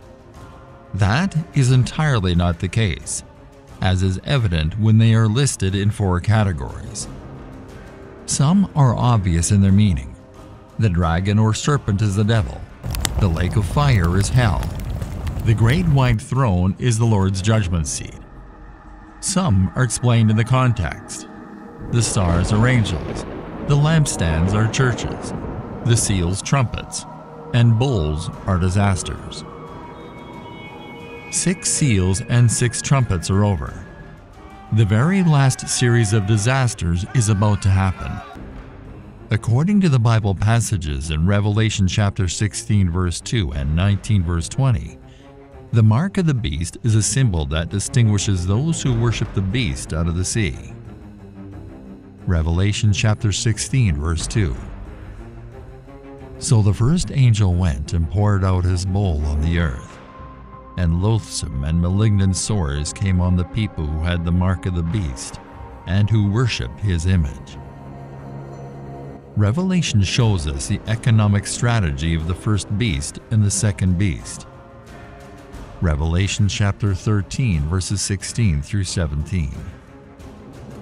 Also, he compels all, the small and the great, and the rich and the poor, and the free men and the slaves, to be given a mark on their right hand or on their forehead, signifying allegiance to the beast, and that no one will be able to buy or sell, except the one who has the mark, either the name of the beast or the number of his name. He causes all to receive a mark. A mark will be given to everyone under the government of the beast and his associate this mark is necessary to participate in the economy, and those without it will not be able to buy or sell anything. Only those bearing a special number on a visible part of their body, hand or forehead, will be allowed to trade, and the number will only be marked on those who engage in imperial idolatry. The number 666 is the coded name of the dictator the number of his name. This was a common concept in the ancient world. In Greek and Hebrew as well, letters were assigned a numerical value, such as A equaling 1, B equaling 2, and so forth. Using this method, many candidates for Antichrist have been suggested, such as Napoleon, Mussolini, Stalin, and so forth. Revelation chapter 13, verse 18. Here is wisdom. Let the person who has enough insight calculate the number of the beast, for it is the imperfect number of a man. And his number is 666. The usage of numbers as symbols is very common. The book of Revelation has a large number of sevens, including stars, lampstands, lamps, seals, trumpets, and bowls.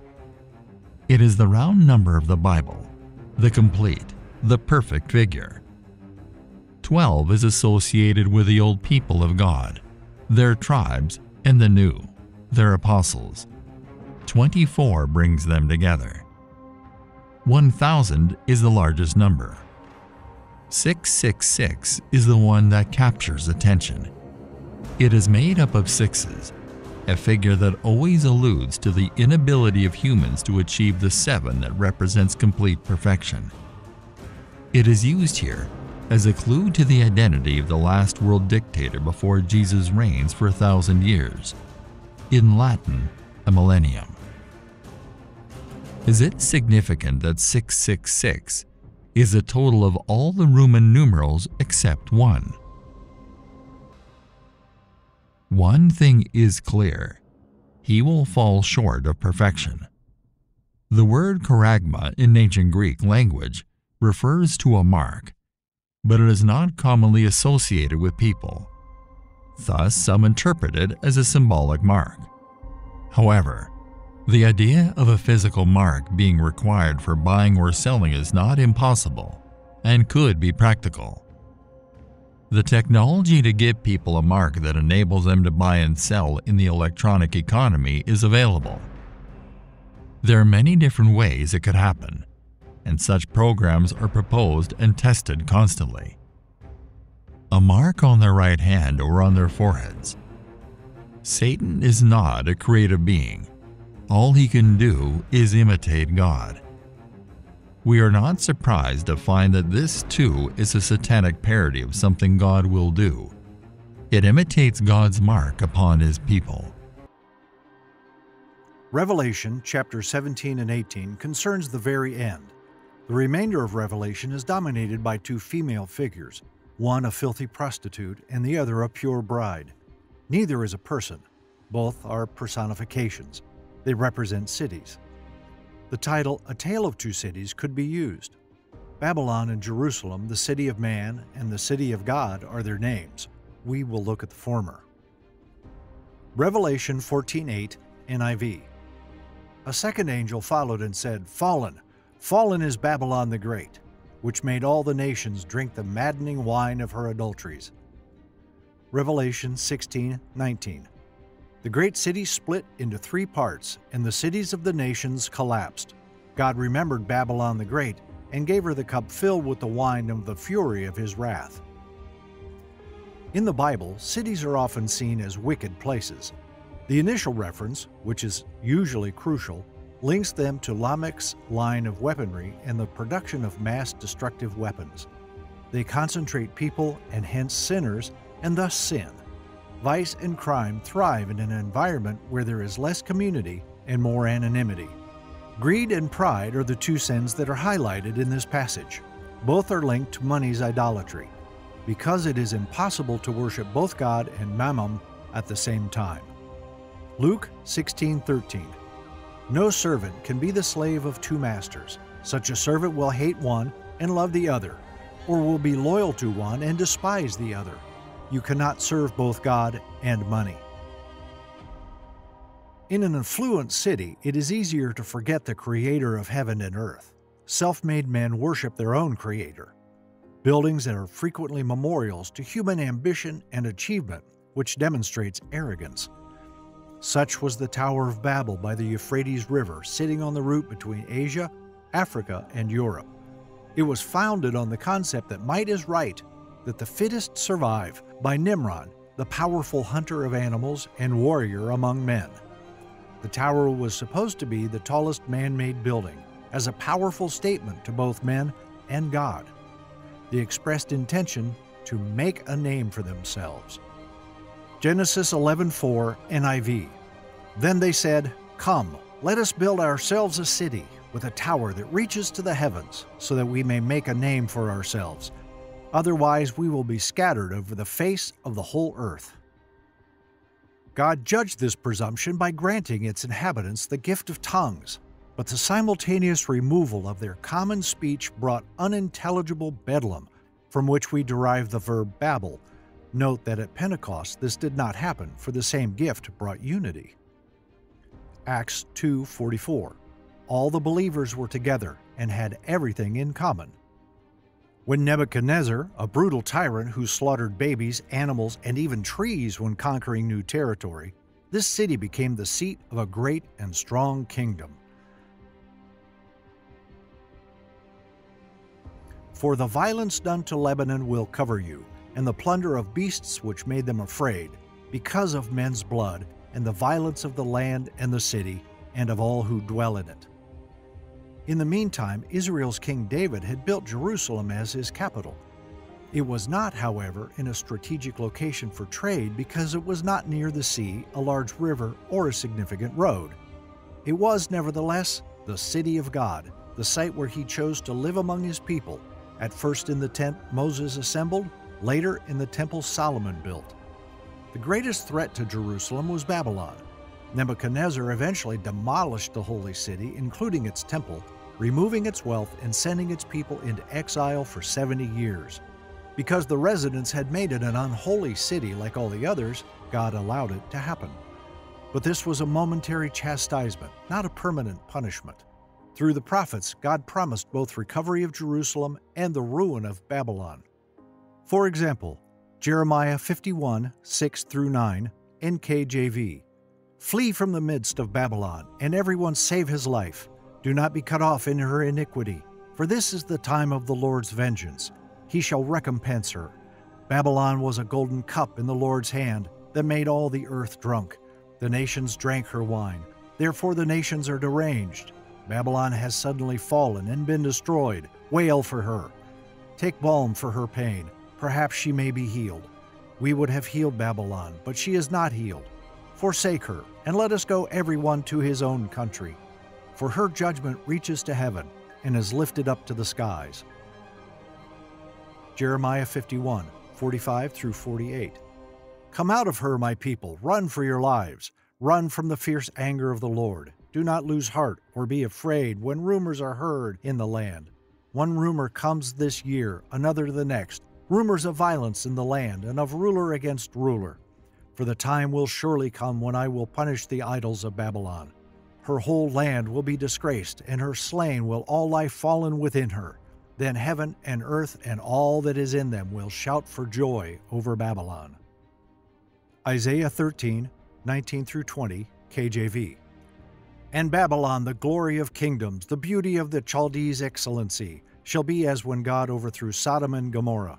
It shall never be inhabited, neither shall it be dwelt in from generation to generation.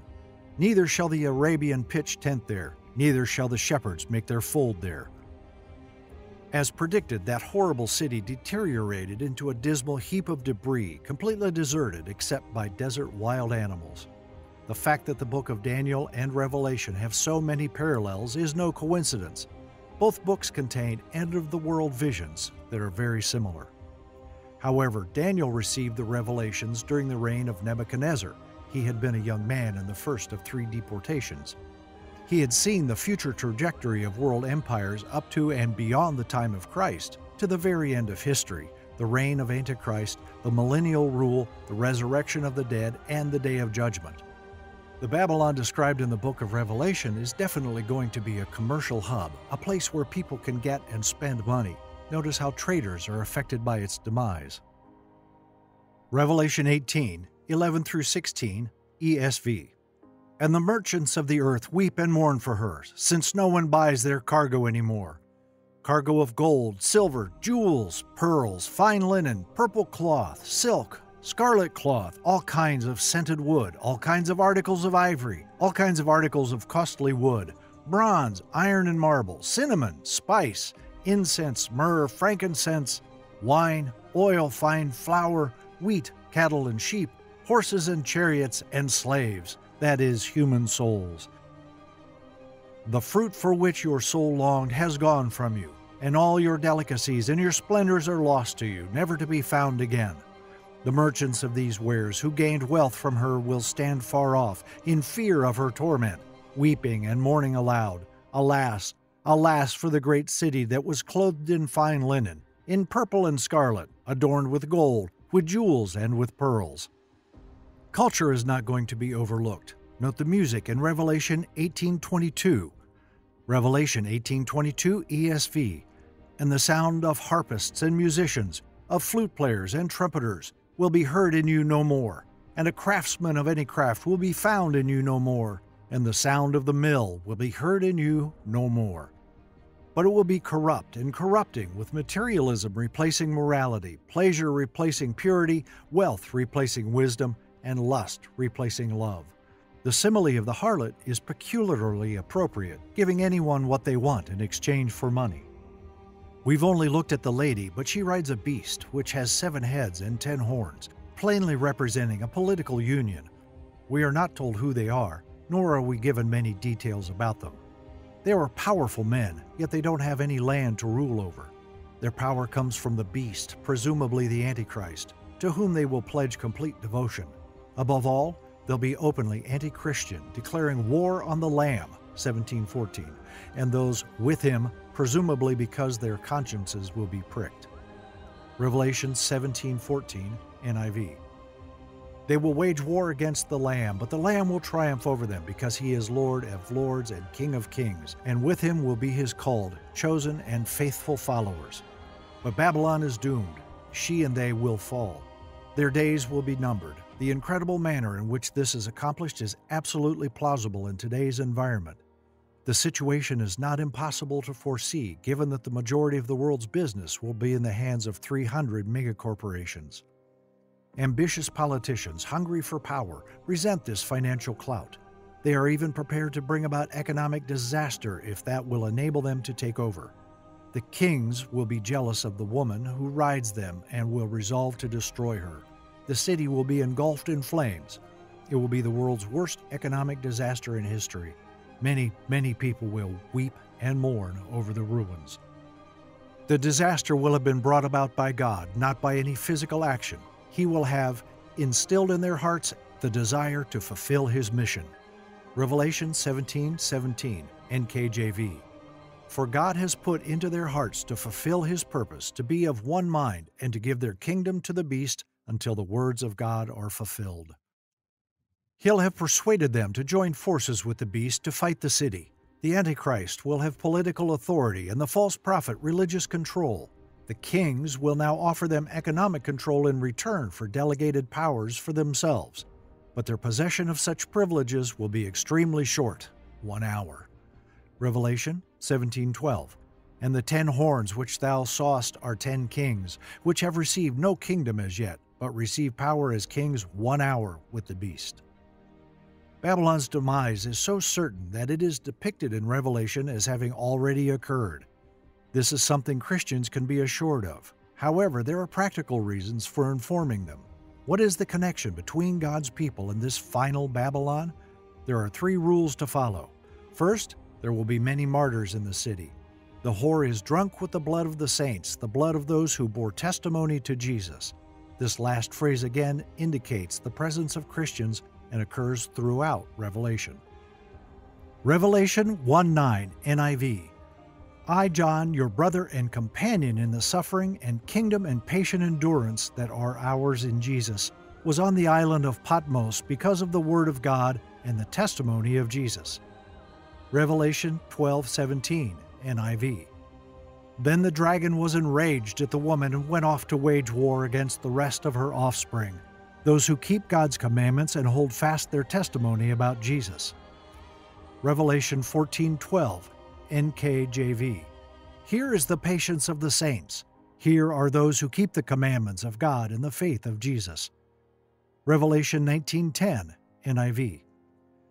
At this I fell at his feet to worship him, but he said to me, Don't do that. I am a fellow servant with you and with your brothers and sisters who hold to the testimony of Jesus. Worship God, for it is the spirit of prophecy who bears testimony to Jesus. In a city devoted to immorality, pious people have no place. A conscience is something that the community does not desire. Second, Christians are instructed to Come out of her, my people, so that you will not share in her sins, so that you will not receive any of her plagues. For her sins are piled up to heaven, and God has remembered her crimes. Revelation 18 4 and 5, NIV.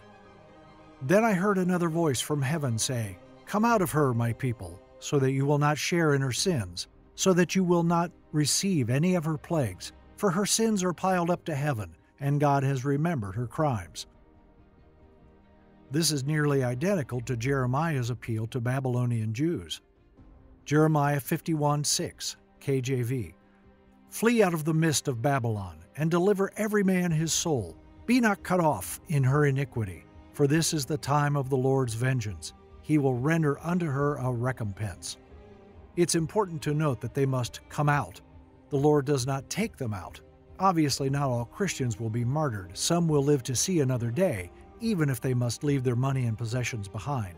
Third, when Babylon falls, there is to be a celebration. Revelation 18:20 NIV Rejoice over her, you heavens. Rejoice, you people of God. Rejoice, apostles and prophets, for God has judged her with the judgment she imposed on you. This is done in Revelation 19 1 through 5. After this, I heard what sounded like the roar of a great multitude in heaven shouting, Hallelujah! Salvation and glory and power belong to our God, for true and just are his judgments. He has condemned the great prostitute who corrupted the earth by her adulteries he has avenged on her the blood of his servants. And again they shouted, Hallelujah! The smoke from her goes up for ever and ever. The twenty four elders and the four living creatures fell down and worshipped God, who was seated on the throne. And they cried, Amen, Hallelujah! Then a voice came from the throne saying, Praise our God, all you his servants, you who fear him, both great and small. On that day, only God's people will be singing Hallelujah, which means Praise the Lord. The bride appears after the prostitute has vanished. The Lamb's wedding banquet is going to take place. Jesus is getting married, or more accurately, he is coming to get married. Matthew 25, 1 through 13, NIV. At that time, the kingdom of heaven will be like ten virgins who took their lamps and went out to meet the bridegroom. Five of them were foolish and five were wise. The foolish ones took their lamps but did not take any oil with them. The wise ones, however, took oil in jars along with their lamps. The bridegroom was a long time in coming, and they all became drowsy and fell asleep. At midnight the cry rang out, Here's the bridegroom, come out to meet him. Then all the virgins woke up and trimmed their lamps. The foolish ones said to the wise, Give us some of your oil, our lamps are going out. No, they replied, there may not be enough for both us and you. Instead, go to those who sell oil and buy some for yourselves. But while they were on their way to buy the oil, the bridegroom arrived. The virgins who were ready went in with him to the wedding banquet, and the door was shut. Later the others also came. Lord, Lord, they said, open the door for us. But he replied, Truly I tell you, I don't know you. Therefore keep watch, because you do not know the day or the hour. The bride has made herself ready. Blessed are those on it.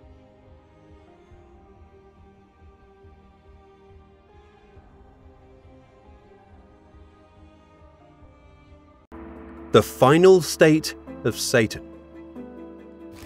Revelation 20 speaks in detail concerning the final state of Satan and unbelievers.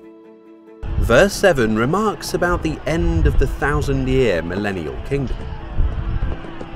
Revelation 20 1 to 3 New American Standard Bible. Then I saw an angel coming down from heaven holding the key of the abyss and a great chain in his hand. And he took hold of the dragon, the serpent of old, who is the devil and Satan, and bound him for a thousand years. And he threw him into the abyss, and shut it and sealed it over him, so that he would not deceive the nations any longer, until the thousand years were completed. After these things, he must be released for a short time. We read, an angel coming down from heaven. The angel that will subdue Satan is anonymous. We know if it is Michael, Gabriel, or any other high ranking angel. A Bible commentator noted this The final importance of Satan is perhaps indicated in the fact that it is not the Father who deals with him, nor the Christ, but only an unnamed angel. However, we read about an angel coming down from heaven. It is important to note that Satan is not considered God's equal or opposite. Yet God allows Satan to continue because even in his evil, he indirectly serves the purposes of God. We read the phrases laid hold, bound him, cast him, shut him up, set a seal on him.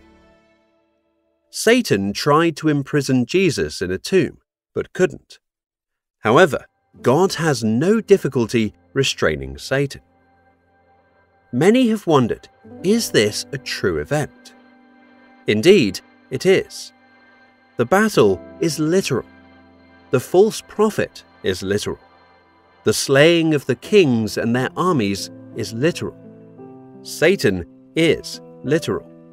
And his binding must be equally literal. We read that he should deceive the nations no more. The revealed primary mode of attack by Satan is deception. Therefore, the best defense and weapon against Satan is the truth found in God's Word. It is evident that Satan's deceitful actions still persist, indicating that he is not confined in the manner portrayed in the passage. Peter stated that Satan is free to roam like a roaring lion, searching for those he can harm. Satan will be released for one last battle, along with the misled nations of the world. After he is defeated, we see the result. Revelation 20 9 to 10, New American Standard Bible. And they came up on the broad plain of the earth and surrounded the camp of the saints and the beloved city. And fire came down from heaven and devoured them. And the devil who deceived them was thrown into the lake of fire and brimstone, where the beast and the false prophet are also. And they will be tormented day and night forever and ever. We read, Fire came down from God out of heaven and devoured them. It is inaccurate to refer to this as a final battle, as there is no actual conflict. The outcome is predetermined, with God ultimately putting an end to the devil and his followers for good. Following the battle, Satan receives eternal judgment and torment, together with the beast and the false prophet. Is this really eternal punishment? Yes, it is the words mean exactly what they appear to mean. Then all unbelievers will be judged before the great white throne. Revelation 20:15 states, "And if anyone's name was not found written in the book of life, he was thrown into the lake of fire." In the next chapter, Revelation 21:8 adds, "But as for the cowards and unbelieving, and abominable, who are devoid of character and personal integrity, and practice or tolerate immorality, and murderers and sorcerers with intoxicating drugs, and idolaters and occultists who practice and teach false religions, and all the liars who knowingly deceive and twist truth. Their part will be in the lake that blazes with fire and brimstone, which is the second death. Hell exists in a realm beyond our present realm. Revelation 20 11 to 15, New American Standard Bible. Then I saw a great white throne, and him who sat upon it, from whose presence earth and heaven fled, and no place was found for them. And I saw the dead, the great and the small, standing before the throne, and books were opened. and another book was opened, which is the book of life. And the dead were judged from the things which were written in the books, according to their deeds.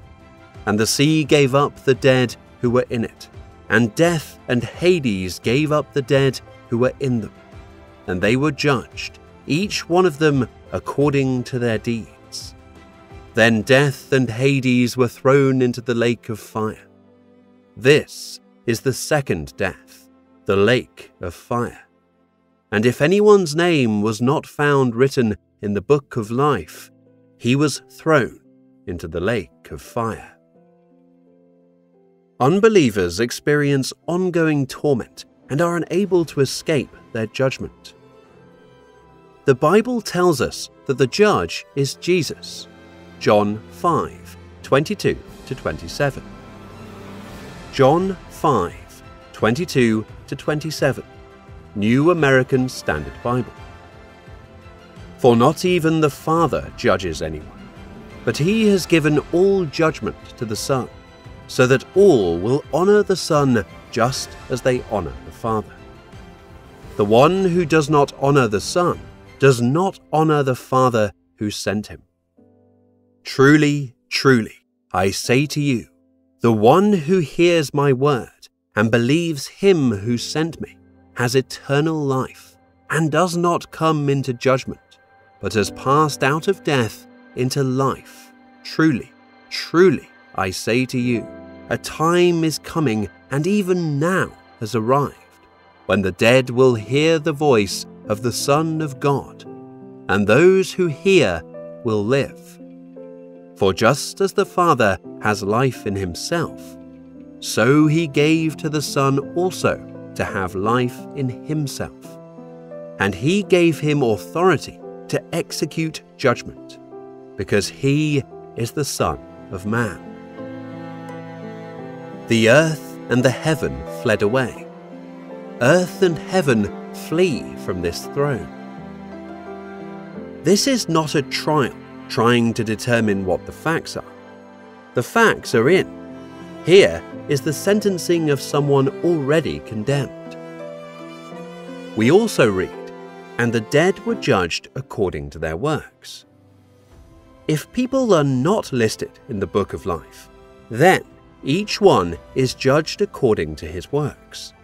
We read, Then death and Hades were cast into the lake of fire. Sin's lingering effects have been eradicated, including death. The last traces of sin's unlawful power are done away with. When a person refers to hell, the lake of fire is what they usually have in mind. We read, this is the second death. A Bible commentator noted As there is a second and higher life, so there is also a second and deeper death. And as after that life there is no more death, so after that death there is no more life. At the end of time, Satan and unbelievers will experience the second death in which they will be in the lake of fire. This dreadful situation is one no person would desire. This is why God has offered salvation through Jesus to anyone who will believe and patiently offers this salvation still today. There are many beautiful cities all over the world. However, we have yet to find a city that we will prefer to the one we return to at the end of our journey. The word city appears 11 times in the book of Revelation, in chapters 21 and 22. It is the place where God and His people will coexist. It's not a figure of speech, but rather a reference to a real place. And because we will be living in that city in our physically resurrected bodies, we will require a physical city to live in. It's not some fantastical place. It's not just an idea. It's a real place. The city of heaven, Jerusalem is a city. This should not come as a surprise given that the desire for a city has existed since the time of Abraham. In Hebrews chapter 11, we read about Abraham looking for a city whose builder and maker was God. In Hebrews chapter 12, the Hebrew Christians were told to Come to Mount Zion and to the city of the living God, the heavenly Jerusalem. The city is mentioned by Paul in his letter to the Galatians. He refers to it as the Jerusalem above, and it is referred to as the city of my God and the New Jerusalem in Revelation chapter 3 verse 12. The New Jerusalem is a city that is in heaven. Revelation chapter 21 verse 2 says, Then I, John, saw the holy city, the New Jerusalem, coming down out of heaven from God, prepared as a bride adorned for her husband. We see in Revelation chapter 21 in verse 2 that this holy city was made ready and it came down out of heaven from God. And the phrase made ready implies that the New Jerusalem has already been completed by this time. John does not say that he saw the New Jerusalem created. He claims to have seen the New Jerusalem emerge from the heavens. Revelation chapter 3 verse 12 calls it again. Him that overcometh will I make a pillar in the temple of my God, and he shall go no more out. And I will write upon him the name of my God, and the name of the city of my God, which is New Jerusalem, which cometh down out of heaven from my God. And I will write upon him my new name. Before I go any further, allow me to paint a picture for you. It will be the most incredible city that anyone has ever, ever imagined. This is the city that the Lord was referring to when he told his disciples in John chapter 14 verse 3, "And if I go and prepare a place for you, I will come again and receive you unto myself, that where I am, there ye may be also." What is the Lord Jesus up to lately? He's working on our place. Some people refer to it as a mansion. Call it what you will, but it is a part of God's future for us that is currently being built, and when it is finished and ready to be put into action, we will learn how it will all come together. First and foremost, I'd like to discuss the size of this city with you. Has anyone ever said to you, How on earth is heaven ever going to be big enough for all the Christians from all time to live there? It's going to have to be a big place. So let me impress this upon your mind and heart today. Heaven, this city of God, will be the most incredible place you've ever heard of. In Revelation chapter 21, verses 15 and 16, And he that talked with me had a golden reed to measure the city, and the gates thereof, and the wall thereof. And the city lieth foursquare, and the length is as large as the breadth. And he measured the city with the reed, twelve thousand furlongs the length and the breadth and the height of it are equal. One of the reasons that many people try to spiritualize and dismiss this city is because of its enormous size. It is a city that goes above and beyond what you can imagine. Now, if you work that out, to give you an idea that each one of the walls and the cube of it, they're all 1,400 miles, between 1,400 and 1,500 miles and the ground floor square mile is 2,250,000 square miles on the first level. Did you ever hear like that? London covers an area of 140 square miles. The city four square is 2,250,000 square miles on the first floor. This city is 20 times as big as all of New Zealand. It's 10 times as big as Germany. It's 10 times as big as France. It's 40 times as big as all of England. It is ever so much bigger than India. Why, it's an enormous continent all by itself. So, if Almighty God saves His best for last, and His final creation is this new city, wouldn't you expect it to be the most spectacular thing you could imagine? How is God going to drop a city like that out of heaven? Someone asks. With the same power that He possessed when He spoke a word and the world was created. The same power He possessed when He spoke and the creation was born. And if he says in his word that he'll do it, he'll do it. So let's talk about the inside of the city for a moment, and I'd like to briefly touch on the things that John tells us in these two chapters. First and foremost, it is a holy city, according to verse 2 of chapter 21. Then I, John, saw the holy city. The chief characteristic of this city into which we will one day move is its holy. It is described as follows in the Wycliffe Bible Commentary a holy city will be one in which no lie will be uttered in 100 million years. No evil word will ever be spoken. No shady business deals will ever be discussed. No unclean picture, will ever be seen. No corruption of life will ever be manifest. It will be holy because everyone in it will be holy. You can't get into the holy city unless you are born again and you've gone to heaven.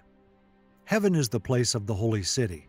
Not only is it a holy city, but the Bible says it's a place where the gates are made out of pearl. You know, we didn't just make this up. This is not folklore.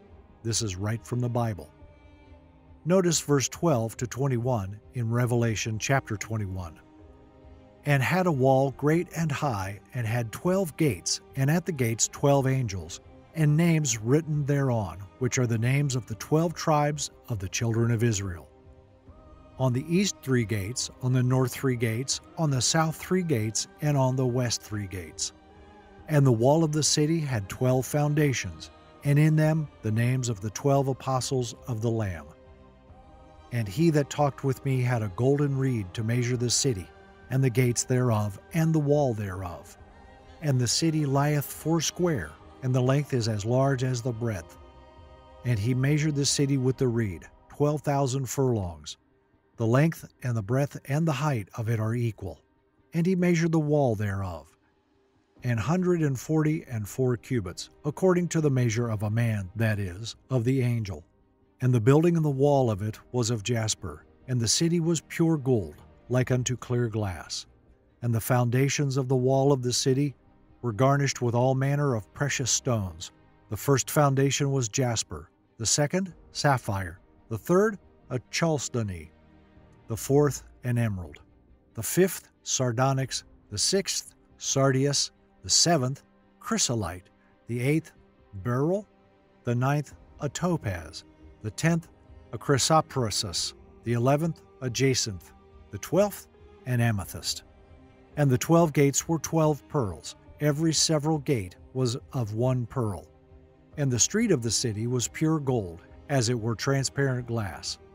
The names of the twelve tribes of Israel are inscribed on the twelve pearl gates, which are actually part of a wall that surrounds the city. And John sees the entire wall as a gleaming diamond bracelet. He says, The construction of the wall was jasper, and the city was pure gold, like clear glass. So if you saw it from afar, it would just sparkle and shine as it turned around, and the colors of the city's glory would be so overwhelming that it would take your breath away. We'll walk through the pearl gates, reminded that the only reason we're there is because of the Lord Jesus' suffering and pain, who paid the wound for us so that we might be redeemed. So it's a holy city with pearly gates, and the Bible then tells us that the city's foundations are made of precious stones. The first was jasper, the second, sapphire, the third, agate, the fourth, emerald, the fifth, onyx, the sixth, carnelian, the seventh, chrysolite, the eighth, beryl, the ninth, topaz, the tenth, chrysoprase, the eleventh, jacinth, the twelfth, amethyst. All of these are purely Greek terms that have been translated into English to describe all of the colors and hues of the rainbow that we know today. And the Bible says that this great foursquare city that descends from heaven will be built upon. And you will see it, a 12 layer foundation, with each layer containing a different beautiful stone such as emeralds and diamonds, as well as all of the other beautiful stones found throughout the universe. Each of the foundations will be unique. As a result, when you see the city's foundation, you'll be overwhelmed by the beauty of all the gemstone foundations beneath this massive city of God. Rather than being 12 individual foundations separated from each other, they are packed upon each other, and you see them all together in little ripples of gold and precious stones. The Bible then says it's not only a holy city with pearly gates and a foundation of precious stones, but it also has streets of gold. I know that some of you think that's folklore too. You hear all about the streets of gold in heaven. We're going to walk on streets of gold. It's in all of the old spirituals. It's on all of the old gospel songs, the streets of gold. Are there really streets of gold in heaven? Is it true that there are streets of gold in heaven? Look down at verse 18, then again at verse 21 of chapter 21. And the construction of its wall was of jasper, and the city was pure gold, like clear glass. And notice 21. These twelve gates were twelve pearls. Each individual gate was of one pearl, and the street of the city was pure gold, like transparent glass. I can't imagine it. Once again, can you imagine seeing the city as you approach it? Observing the city from a distance? The gold on the outside, the precious stones on the foundations, and this lovely sense of light that emanates from the throne of God out of the city. This is the New Jerusalem spoken of in the Bible. It is a fulfillment of the prophecy of Isaiah in chapter 60 and verse 19. The sun shall no longer be your light by day, nor for brightness shall the moon give light to you, but the Lord will be to you an everlasting light, and your God will be your glory. When the Bible says that this city reflects light, it is not from any material combustion. It is not from any consumption of fuel. The light of the world comes from the Lamb himself, and he will be the light of the city at that time. No wonder Paul described our future in this way. In 1 Corinthians chapter 2 verse 9 he said, "It is written, eye has not seen, nor ear heard, nor have entered into the heart of men the things which God has prepared for those that love him." The Bible foretold a time when cynics would mock the very idea of Christ's return. 2 Peter 3 3 4. Above all, you must understand that in the last days scoffers will come, scoffing and following their own evil desires. They will say, Where is this coming he promised? Ever since our ancestors died, everything goes on as it has since the beginning of creation. But Scripture is neither vague nor equivocal in terms of the promise of the return of Christ. A substantial proportion, by some accounts, as much as one fifth, of Scripture is prophetic, and conceivably, a third or more of the prophetic passages refer to the second coming of Christ or events related to it. It is a central theme of both the Old Testament and New Testament prophecy. And regardless of what the scoffers say, Jesus is coming. World history is barreling toward a conclusion and the conclusion has already been ordained by God and foretold in Scripture. God is not slack concerning his promise. Christ will return. One ironic thing is that we live in a time when even the scoffers are in a state of rather fearful expectation. The terrifying potential of global disruption exists on several levels. Even the most vehement secularists must acknowledge the very potential that the world as we know it could end at any time through thermonuclear war, a nuclear disaster, a potential crisis, various ecological disasters. In fact, most people recognize that this world cannot exist forever, and we face constant reminders of this. For nearly the entire 20th century, an endless string of books, articles, scientific studies, and even Hollywood productions have attacked the public consciousness and warned us that if we do not collectively change the way we live, Together with our little planet, we will go out of existence. However, the way they perceive the ending is different from what the Bible tells us. How will it end? Can we know? Yes, we can. The Bible gives a very plain, direct answer. The world as we know it will end with the return of Christ. The history of the world will climax in his literal, bodily return to the earth. This is as certain as any truth in Scripture. There is a reason from the Bible by which we know that Christ is coming again, and that is, the teaching of Christ demands it. Christ's own words also make it clear that he will return. His earthly teaching was filled with references to his second coming. Many of his parables spoke of it. In fact, the Gospels include entire chapters dealing with events related to the second coming. For example, Matthew 24 to Matthew 25 and Luke 21. On the night of his betrayal, Christ told the disciples, John 14, 2 3, My Father's house has many rooms. If that were not so, would I have told you that I am going there to prepare a place for you? And if I go and prepare a place for you, I will come back and take you to be with me, that you also may be where I am. Not only is the credibility of God at stake in the second coming, but so is the credibility of his son. If Jesus doesn't return, he's a liar but his own words are a divine guarantee that he will be back. Romans 3 4 through 6. Not at all. Let God be true and every human being be a liar. As it is written, so that you may be proved right when you speak and prevail when you judge. But if our unrighteousness brings out God's righteousness more clearly, what shall we say? That God is unjust in bringing wrath on us? I am using a human argument. Certainly not. If that were so, how could God judge the world? In the midst of a trial for his life, Christ asserted his own deity by making a triumphant announcement of the second coming in the most absolute terms. He said to the high priest, Mark 14 62, I am, said Jesus, and you will see the Son of Man sitting at the right hand of the Mighty One and coming on the clouds of heaven. And a short time before that, as Christ had revealed the panorama of coming events to his apostles on the Mount of Olives, he told them, Matthew 24 27, For as lightning that comes from the east is visible even in the west, so will be the coming of the Son of Man. He added this vivid description Matthew 24 30 through 31. Then will appear the sign of the Son of Man in heaven, and then all the peoples of the earth will mourn when they see the Son of Man coming on the clouds of heaven, with power and great glory. And he will send his angels with a loud trumpet call, and they will gather his elect from the four winds, from one end of the heavens to the other. Various of the parables Christ told to illustrate his kingdom emphasized the truth of the second coming.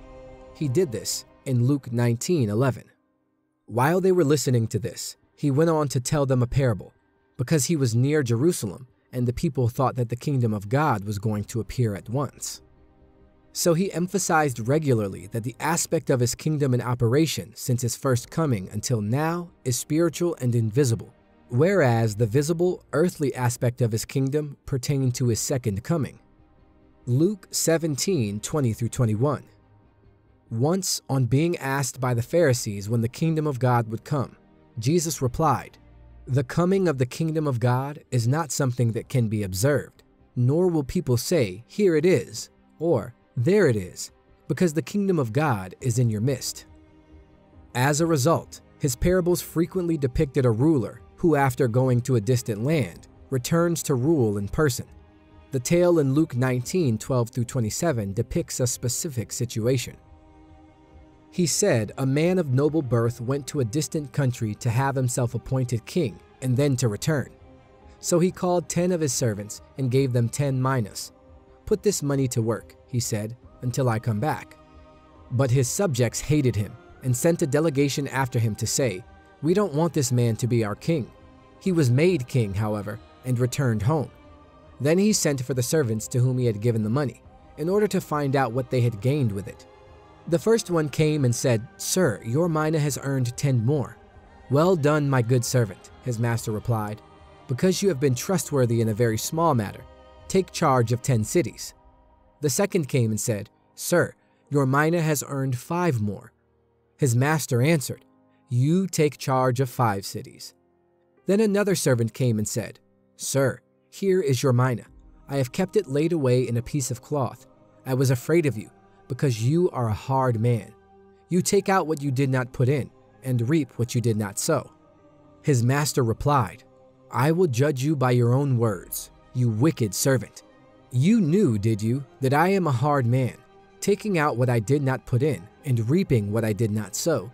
Why then didn't you put my money on deposit, so that when I came back, I could have collected it with interest? Then he said to those standing by, Take his mina away from him and give it to the one who has ten minas.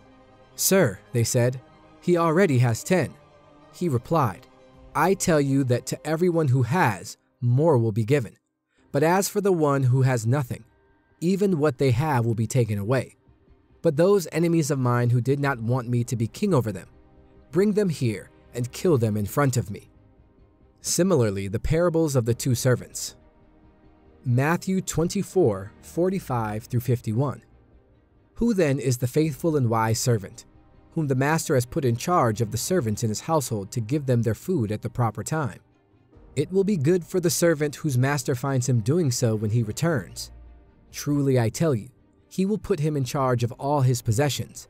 But suppose that servant is wicked and says to himself, My master is staying away a long time.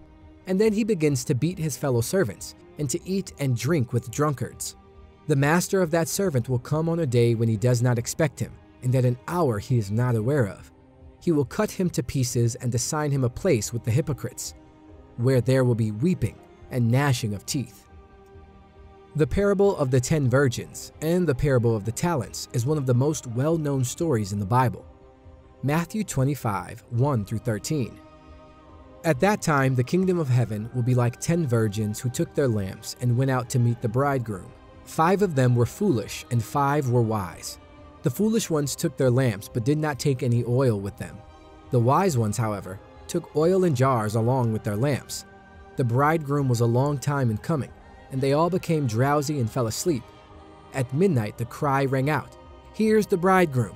Come out to meet him. Then all the virgins woke up and trimmed their lamps. The foolish one said to the wise, Give us some of your oil. Our lamps are going out. No, they replied. There may not be enough for both of us and you. Instead, go to those who sell oil and buy some for yourselves. But while they were on their way to buy the oil, the bridegroom arrived. The virgins who were ready went in with the wedding banquet, and the door was shut. Later, the others also came. Lord, Lord, they said, open the door for us. But he replied, Truly I tell you, I don't know you. Therefore keep watch, because you do not know the day or the hour. Matthew 25, 14 through 30. Again, it will be like a man going on a journey, who called his servants and entrusted wealth to them.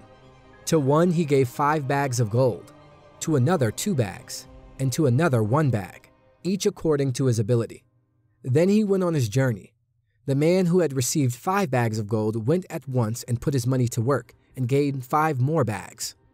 So also the one with two bags of gold gained two more. But the man who had received one bag went off, dug a hole in the ground, and hid his master's money. After a long time, the master of those servants returned and settled the accounts with them. The man who had received five bags of gold brought the other five. Master, he said, you entrusted me with five bags of gold. See, I have gained five more. His master replied, Well done, good and faithful servant. You have been faithful with a few things. I will put you in charge of many things. Come and share your master's happiness. The man with two bags of gold also came. Master, he said, you entrusted me with two bags of gold. See, I have gained two more. His master replied, Well done, good and faithful servant. You have been faithful with a few things. I will put you in charge of many things. Come and share your master's happiness. Then the man who had received one bag of gold came. Master, he said, I knew that you are a hard man, harvesting where you have not sown and gathering where you have not scattered seed. So I was afraid and went out and hid your gold in the ground. See, here is what belongs to you. His master replied, You wicked, lazy servant. So you knew that I harvest where I have not sown and gather where I have not scattered seed. Well then, you should have put my money on deposit with the bankers, so that when I returned, I would have received it back with interest. So take the bag of gold from him and give it to the one who has ten bags. For whoever has will be given more, and they will have an abundance. Whoever does not have, even what they have will be taken from them. And throw that worthless servant outside into the darkness, where there will be weeping and gnashing of teeth. All of these parables emphasize the certainty of Christ's second coming. That's not everything. Christ constantly stated in the book of Revelation, Surely I am coming quickly. Revelation 22 20 through 21. He who testifies to these things says, Yes, I am coming soon. Amen. Come, Lord Jesus. The grace of the Lord Jesus be with God's people. Amen. Revelation 22 7. Look, I am coming soon. Blessed is the one who keeps the words of the prophecy written in this scroll. Revelation 2 5. Consider how far you have fallen. Repent and do the things you did at first. If you do not repent, I will come to you and remove your lampstand from its place. Revelation 3:11 I am coming soon. Hold on to what you have so that no one will take your crown. The revelation unfolds the things which will take place after this. Revelation 1:19 Write therefore what you have seen, what is now and what will take place later. Revelation 4:1 After this I looked, and there before me was a door standing open in heaven. And the voice I had first heard speaking to me like a trumpet said, Come up here, and I will show you what must take place after this. And the crown and culmination of it all is Christ's triumphant return. So Christ has repeatedly assured us of his return. He made these promises during his earthly ministry, just before his ascent to heaven, and even in a vision to John from his throne in heaven.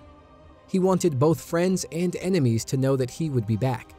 His very credibility depends on the second coming. Let us pray. Mighty God, you can do all things, and no plan of yours can ever be restrained. You direct the lives of your children, and you purposefully plan every circumstance. Lord, grant me the insight to see the challenges on my road and the ability to sense and see your reassuring hand in the midst of them. Bless me with faith that allows me to tackle challenges head on, knowing that your plans are always perfect. Amen. You are all knowing, Lord, and the source of all genuine wisdom. You have arranged my life and the path I must travel with your infinite wisdom. Lord, show me the way I need to walk and direct me down the path you've made for me. Lord, help me to make the correct decisions and to experience your strength and love in my life so that I can avoid the anxieties that come with misunderstanding with a clear mind. Amen. In closing, our question for the day What's a worship song that has helped you feel closer to God?